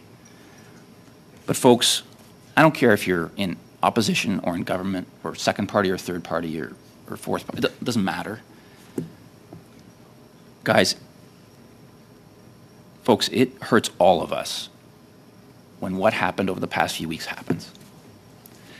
And I, and I guess I would say I have great concerns about the tactics the Conservatives used. I do. And, I, and Mr. Hallan is the lead of the Conservative team, as the vice chair, as Mr. Blaikie pointed out, and as the, as the finance critic. But I would ask us all to take this moment and just to reflect on why we're here.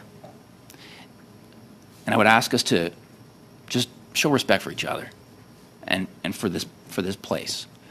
Because when we go after each other personally, when we disrespect each other, we just whether it's the chair or other members, it doesn't matter.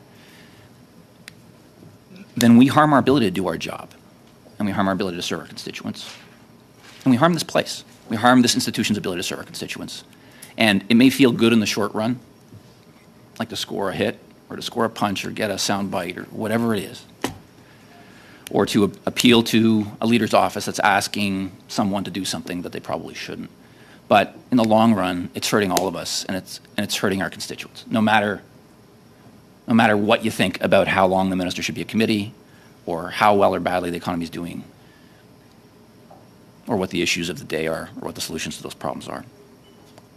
So, um, I just ask us to all ask ourselves why we're here, and how we how we make the most of this opportunity. Thanks. Point of order, Mr. Chair. Thank you, MP uh, Baker. Uh, who, point of order from? Terry Beech. Yeah, oh, PS Beech. Yeah, point of order. Th- Thank you. Um, I think, given the speaking list and given that we will not have time, I'd like to retest unanimous consent to dismiss the officials at this time. Okay, I'm looking to members, UC to allow officials to be released. Yes. Okay, I see. Yep, thumbs up from everybody. Officials, thank you so much uh, for being with us. The testimony that you did provide was uh, excellent. And I know uh, with to the members' questions, we really appreciate it. Thank you. Okay, and thank you, uh, thank you also MP Baker. Uh, and uh, I've got next on my list, I have uh, MP Dzerowicz. Uh, Thank you so much, Mr. Chair. Uh, And I want to say, start off just by saying I agree with the comments of uh, my colleagues Sophie, Terry, and Yvan. Um, And I also, too, want to say uh, thanks to uh, Mr. Blaikie for putting forward this motion, because I, too, feel, uh, one, I I do largely agree with uh, many of the points that he had mentioned, but I also think it's important for us to discuss what's happened over the last few weeks in the hopes that we can get to a better place. Um, I too found what, what what happened was unacceptable. It was a waste of time for you. Uh, it was a t- waste of time for me, for us, and it was a waste of money for Canadians.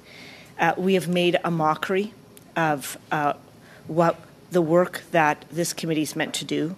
We've made a mockery of what the House of Commons stands for and the work it's supposed to do. And we did not honor uh, what Canadians have elected us to do, which is to work together, uh, to address the issues of the day, and to create a better country. Uh, so I don't know how. To be honest, I asked my colleagues how many hours did we was the filibuster on. We have no clue. It's anywhere between forty and sixty hours. In any case, it was a colossal waste of time. Uh, the main crux of the initial part of the filibuster was about having the Minister of Finance come. Even after she had agreed to come, even after she was on record to come, and she was scheduled to come, the filibuster still continued. there was uh, incorrect information that kept on being portrayed that she had n- not come before, no matter how many times we had invited. Uh, she had already come three times before, and her coming that time for this BIA, BIA made it a fourth time. And there is no minister that comes every single time a committee asks. It doesn't matter whether it's, it's the finance ministry or any ministry. Um, then uh, we there was the filibuster continued in order to have witnesses um, uh, come, but the filibuster took so long that we literally, literally eliminated all opportunities for witnesses to actually come before us to talk to us about the BIA, what was good, what was bad, what could be improved. And so that did not make it uh, possible. I would also like to suggest that we have to stop with the performance politics, uh, which is which we see very, very prevalent, and I would say most specifically from our conservative colleagues. And I'll, we heard, we saw it two minutes ago. Uh, the, there's a lot of invention that goes on. There is a mortgage time bomb, apparently, which is not the case. We heard very clearly today that the delinquency rate for mortgages remain very low, below uh, what we saw pre-pandemic. It's at 0.12. We heard that household finances are relatively healthy. We heard about all the tools are in place that actually are protecting Canadians, including the mortgage stress tests that was put into place in February 2020. And we've heard that the high level of debt that Canadians have, a big portion of that is mortgage debt. So that is complete invention that there is a mortgage time bomb. It is also complete invention that we are in the worst economy. There's literally no economist that would agree with that in the world. We consistently are among the top in terms of growth rates. We are, we are consistent in the top in terms of uh, uh, debt to GDP ratio, in terms of uh, uh, employment rates, in terms of outlook, uh, and in terms of projections moving forward. So, complete nonsense. So, I'm going to end by saying let's do better. Let's find a way uh, to work together to do what it is that Canadians have asked us to do. And I think with that, uh, Mr. Uh, Mr. Chair, I move that the debate be now adjourned. No. I think there's a vote. Is there not? Yeah, there is, a- there is a vote. We do have to go to vote. Okay, clerk? Mr. Baker, In favor?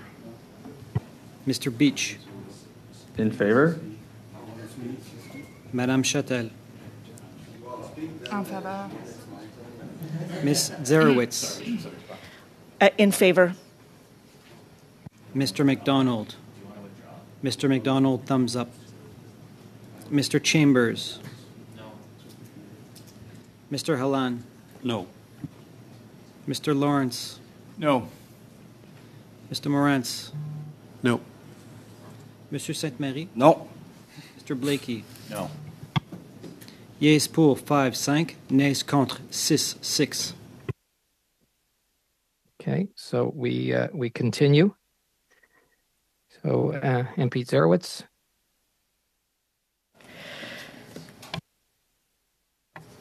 Oh, oh, I finished because, you know, I. Okay, the vote. yeah, So to okay, go to so the we're going, one. moving on. Oh, I've got, uh, MP Ste-Marie next. Merci, Monsieur. le- Thank you, Mr. Chairman. First of all, I just want to say that I voted against uh, the ending the debate now because there are a few people left on the list, whereas more most of the members have spoken. In the beginning, when it was suggested, I thought yes, I would have preferred that we continue asking our questions of the witnesses and have that debate. But now, because everyone else has spoken, and I don't think it'd be fair to interrupt a debate and uh, not get to the bottom of this. This motion would perhaps have allowed us to have a debate and uh, speak about the uneasiness here in the committee. So, first of all, I want to say from the bottom of my heart that I have the greatest respect for each and every member of this committee, the chair, all the members from every party. I have deep respect for all of you. You do a remarkable job, and together we are able to have really good constructive debates when that's possible. So there's nothing in that I will say that is personal. Uh, I'm not bitter against. I'm not against anyone, and I greatly appreciate the committee, even if there are committees where there are arguments, uh, as we have seen recently. Which brings me to talk about the filibuster. I understand, Daniel. I understand Sophie and the Liberal colleagues for being so frustrated after those many, many hours of filibustering where rather than uh, studying that omnibus bill five six hundred pages where if we had done a normal study we could have improved it. And now uh, we've heard about uh, baby eels um, oh, several times and i also was frustrated by that. It is frustrating except that i want to remind my colleagues that the filibuster to my knowledge, in all par- parliaments of democracies, is a tool that's there and that's used and it can take different forms, but it is used for a reason. I understand that it's frustrating. The goal of these dilatory motions and filibusters is to say to the other parties and to the government, listen, you're not respecting me. And so I'm going to throw a spanner in the works.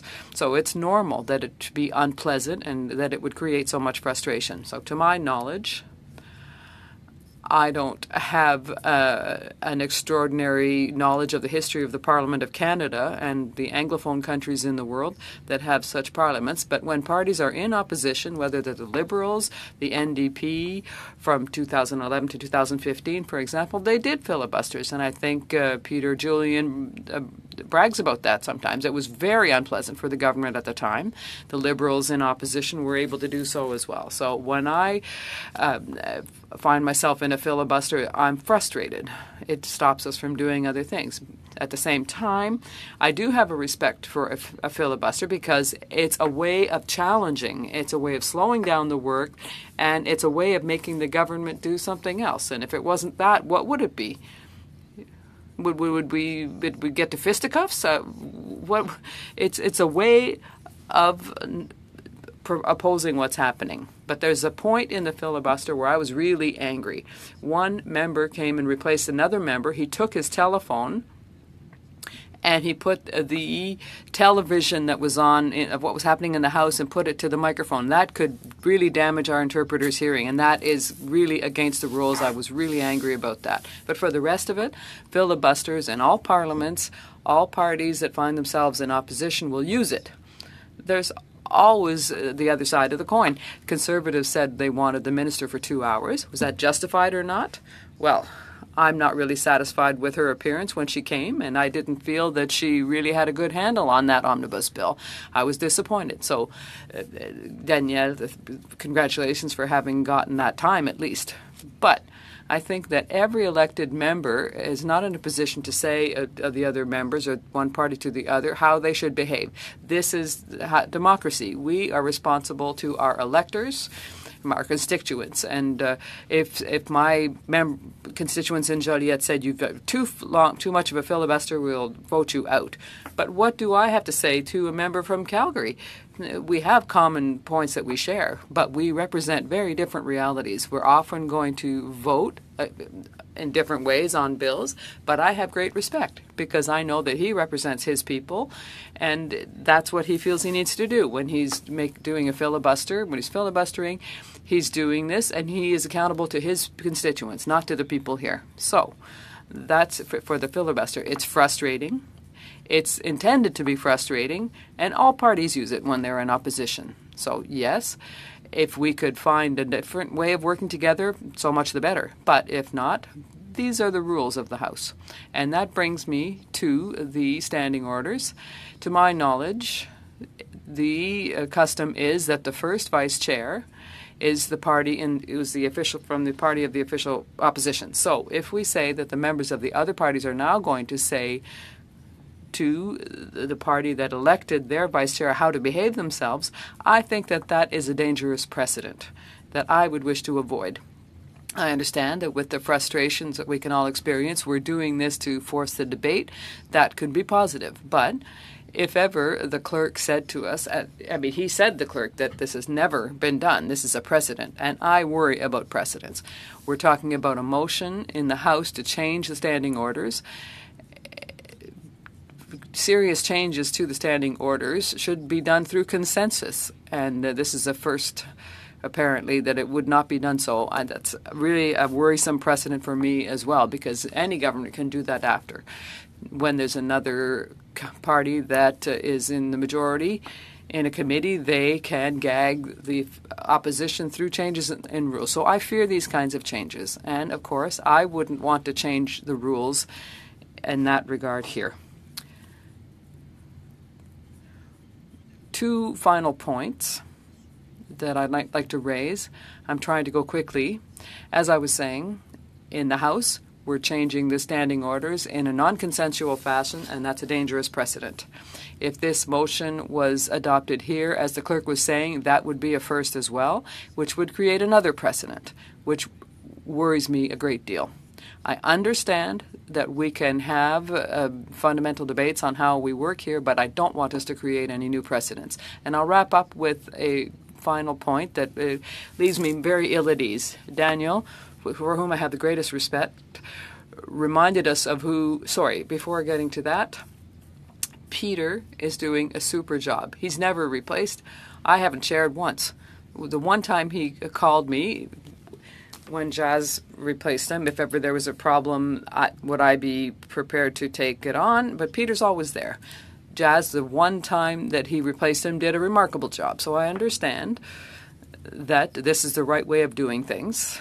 Uh, perhaps he's less been less present than he should be, but it's important for me that the Conservatives, who are the official comp- opposition, continue to appoint their own vice chair.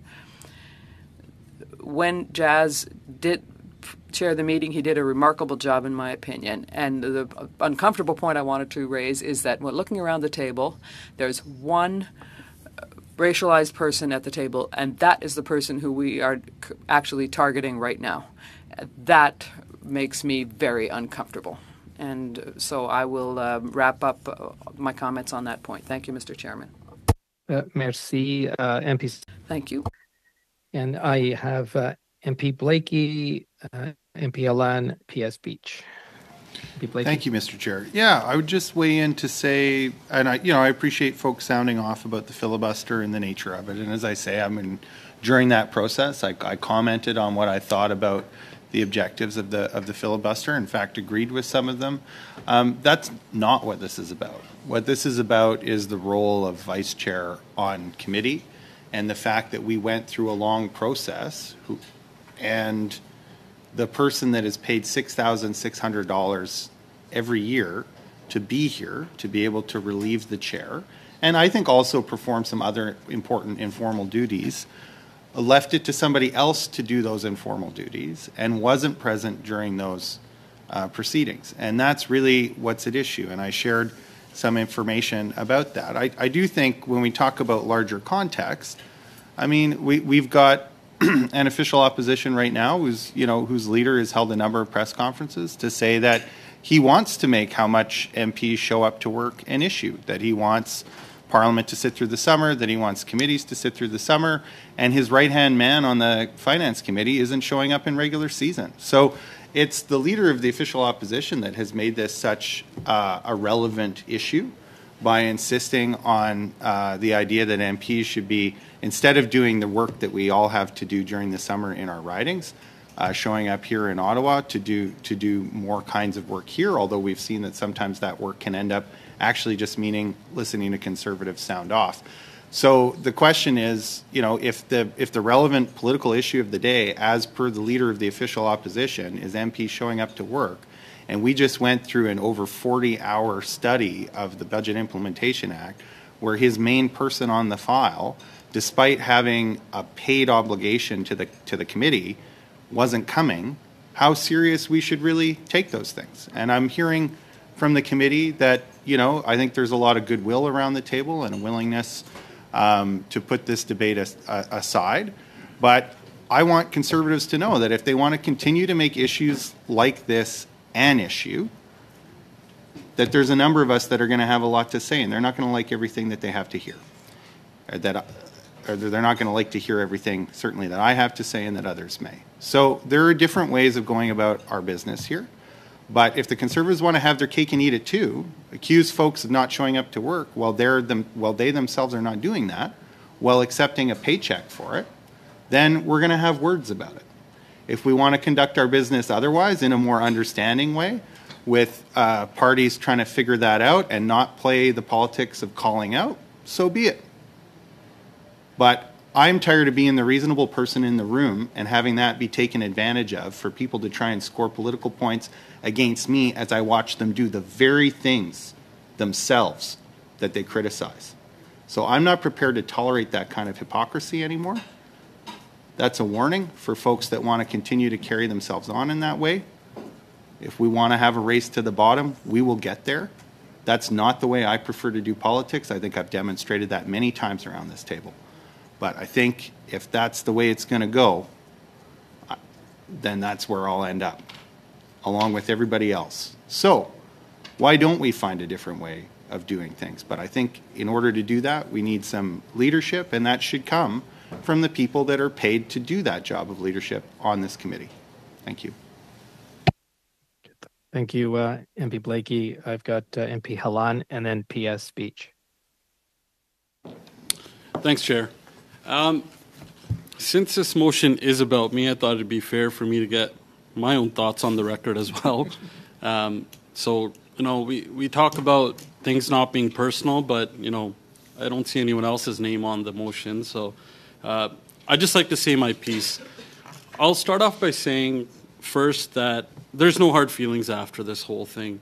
I think we all understand the business. We understand that we can move forward after this. There will be no hard feelings, especially from my end, after this whole ordeal uh, comes to an end. But I did want to touch on a few points that Mr. Blakey brought up. Um, and I'll, maybe I'll start off by some of the points that Mr. Baker brought up first about um, about why I'm here. Um, someone with my past should honestly not even be in this position today. I didn't come here um, to this country knowing that I would be here in this position today. Um, with my growing up, I, this is not something that I even would have had a chance to do the way that I grew up, especially in my riding.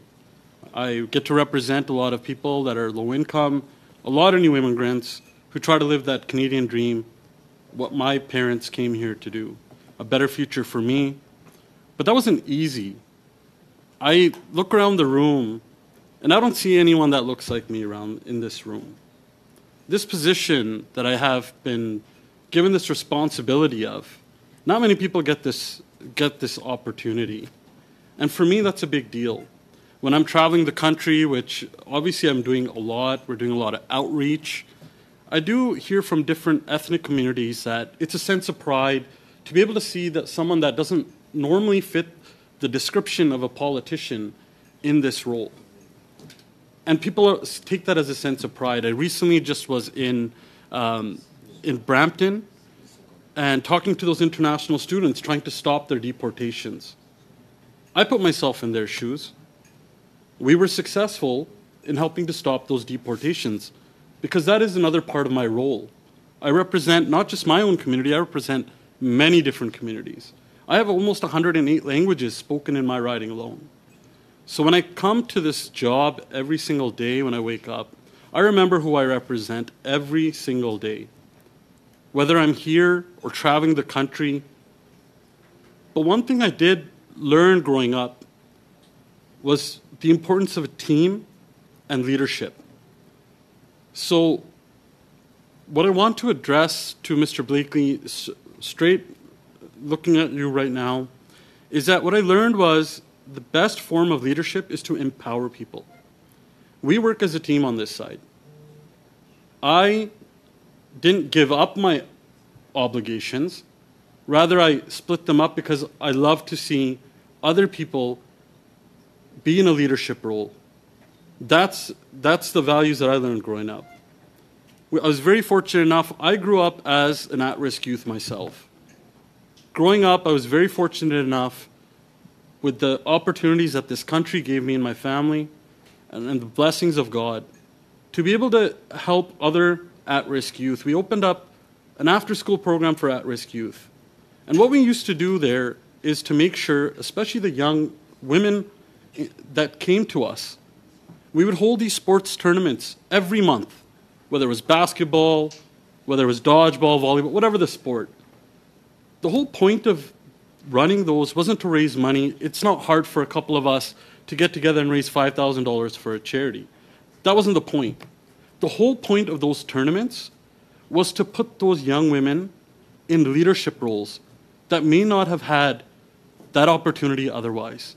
To put encouragement inside them and build confidence inside of them that it's not just us that can do this job, they can do that too. I carry that same principle when it comes to this, this parliament and outside. Because I want others to know that if I can do this, anyone can do this. It doesn't matter about your background. The thing that really bothers me is that, and this is something that I don't think conservatives would ever do, is equate someone's work ethic to how much they're being paid. I don't find that particularly any type of uh, putting politics aside, even to accuse someone of not being able to earn their paycheck. We wouldn't do that normally outside. It's not something we do in business. It's none of our business, actually. Because there are other roles and responsibilities we play. And I'll give you an example of, of on my end what happens. I don't just do casework in my own community for Calgary Forest Lawn. 80% of my casework is from outside of my community, is outside of my riding. And I, I do it with a, with a smile on my face. And I want to thank my, my team that step up every single day and never ask, where are you from? You should go to that MP. We say, okay, we'll do it. And when the whole process started with the BIA, we had a huge lineup of people from our team that said we need we want to get on the record and represent our constituents. I was the first one to say, well, they can take my spot. That was the whole point. And I think we're setting a really, really bad precedent in here. You, you want to get rid of me? Like, I'm sure there's a lot of people in Parliament that want to get rid of me, and I'm fine with that. I'm not here to make friends. I'm not. I'm not here to be and, and, that nice guy. and, and, I, and I apologize for interrupting. I just want to let members know I'm trying. I'm, we're adding some extra resources to see if just to. I'm gonna wrap up in one minute, just out more, of- more time going, just so that you know you have, you Okay. have time. I'm gonna, I'm gonna Okay, wrap up quickly. I, thank don't, you. I don't want to drag this on, but I just wanted to make sure that I would get on record saying that we all know we have more than a responsibility of just being on this hill. I want to see more people like me and others that come to this country doing this. And I think being put in this role that obviously we know our leader was known for this role.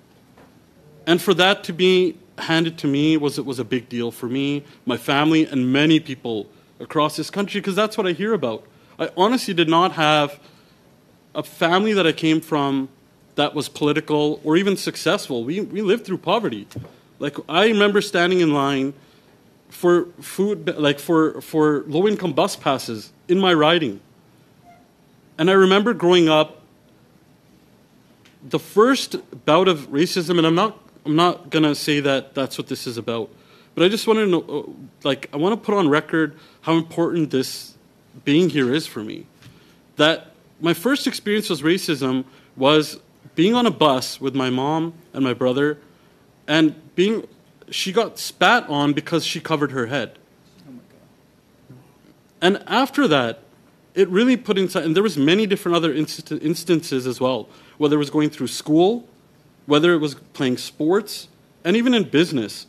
I would look around the table, and this would be the exact same dynamic of what the table looked like. I would be the person that looked much different than everybody else. But I knew I had a role to play. And I'm not going to play the victim card. This isn't about racism. I'm just saying that people of other ethnicities, when I travel, tell me how proud they are that I get to be in this position. And I, and I don't take it lightly. But what I think this precedence is setting is that if you come here and you do your job, whether you do it good or not, you know, that's, that's very, very ob- objective, like uh, subjective of, of the person looking at it. But at the end of the day, it, it does go to show that you could be your best, try your best, but there'll be always someone that wants to get rid of you. And that's what I'm scared of the precedents that we're setting when we go down this line. That's what I wanted to, that's my heartfelt plea to the committee. I'm not, there's no bad feelings after this. I just wished, Daniel, that instead of bringing it on this floor, we would, we would have uh, the decency of maybe having this conversation once at least outside of here. Because I'm not hard to get a hold of. I get, I, people call me all the time. So going forward, however the committee wants to do this, I'm, I'm all game. But I, I don't think I'll back down from doing the job that I was sent here to do. I don't think that would be the point of me being here then. So I just want to thank the committee. Thank you for everyone's input, and I'll leave my piece there. Thank you. Thank you, uh, MP Hallan. I do have limited resources, but PS Beech, and then we gotta, we have to wrap up. 30 seconds, Mr. Chair. Um, I want to thank everyone for having a very frank conversation. I want to thank individuals, especially the last speaker who spoke from a point of uh, vulnerability, which I think is good. Uh, I would suggest, given that we have a planning meeting in camera on Tuesday, that all members think about the points that they agree with that were discussed today from all members. Don't go looking for the things you disagree with. And I would suggest that all of us leave our swords and our shields at the door on Tuesday. And uh, it's an opportunity for us to get some good productive work done. And with that, Mr. Chair, I would move that we adjourn debate. Okay, there's a move to adjourn debate. Uh, Members, clerk, Is it move to adjourn debate or move to adjourn the meeting, Mr. Beech? Move to adjourn debate, and then I hope we will adjourn to the, the meeting. Mr. Baker? In favor. Mr. Beech? In favor. Madame Chatel? En faveur. Ms. Dzerowicz? In favor. Mr. MacDonald? Thumbs up. Mr. Chambers? Mr. Hallan? Yes. Mr. Lawrence? Yes. Mr. Morantz? Yes. Monsieur Ste-Marie? Oui. Mr. Blaikie? No. Yes pour 10, 10, nays contre 11, 11. okay, we've adjourned debate. Sorry, on again, motion. 1 contre 1, not 11. Wait, yep, okay. So we've adjourned debate. Uh, PS Beech, Oh, my hand, I put my hand down. I, I think we okay, should so adjourn the members, meeting. yeah, so we've, uh, we've exhausted resources. Uh, thank you, members, and, uh, so we are now adjourned. Thank you.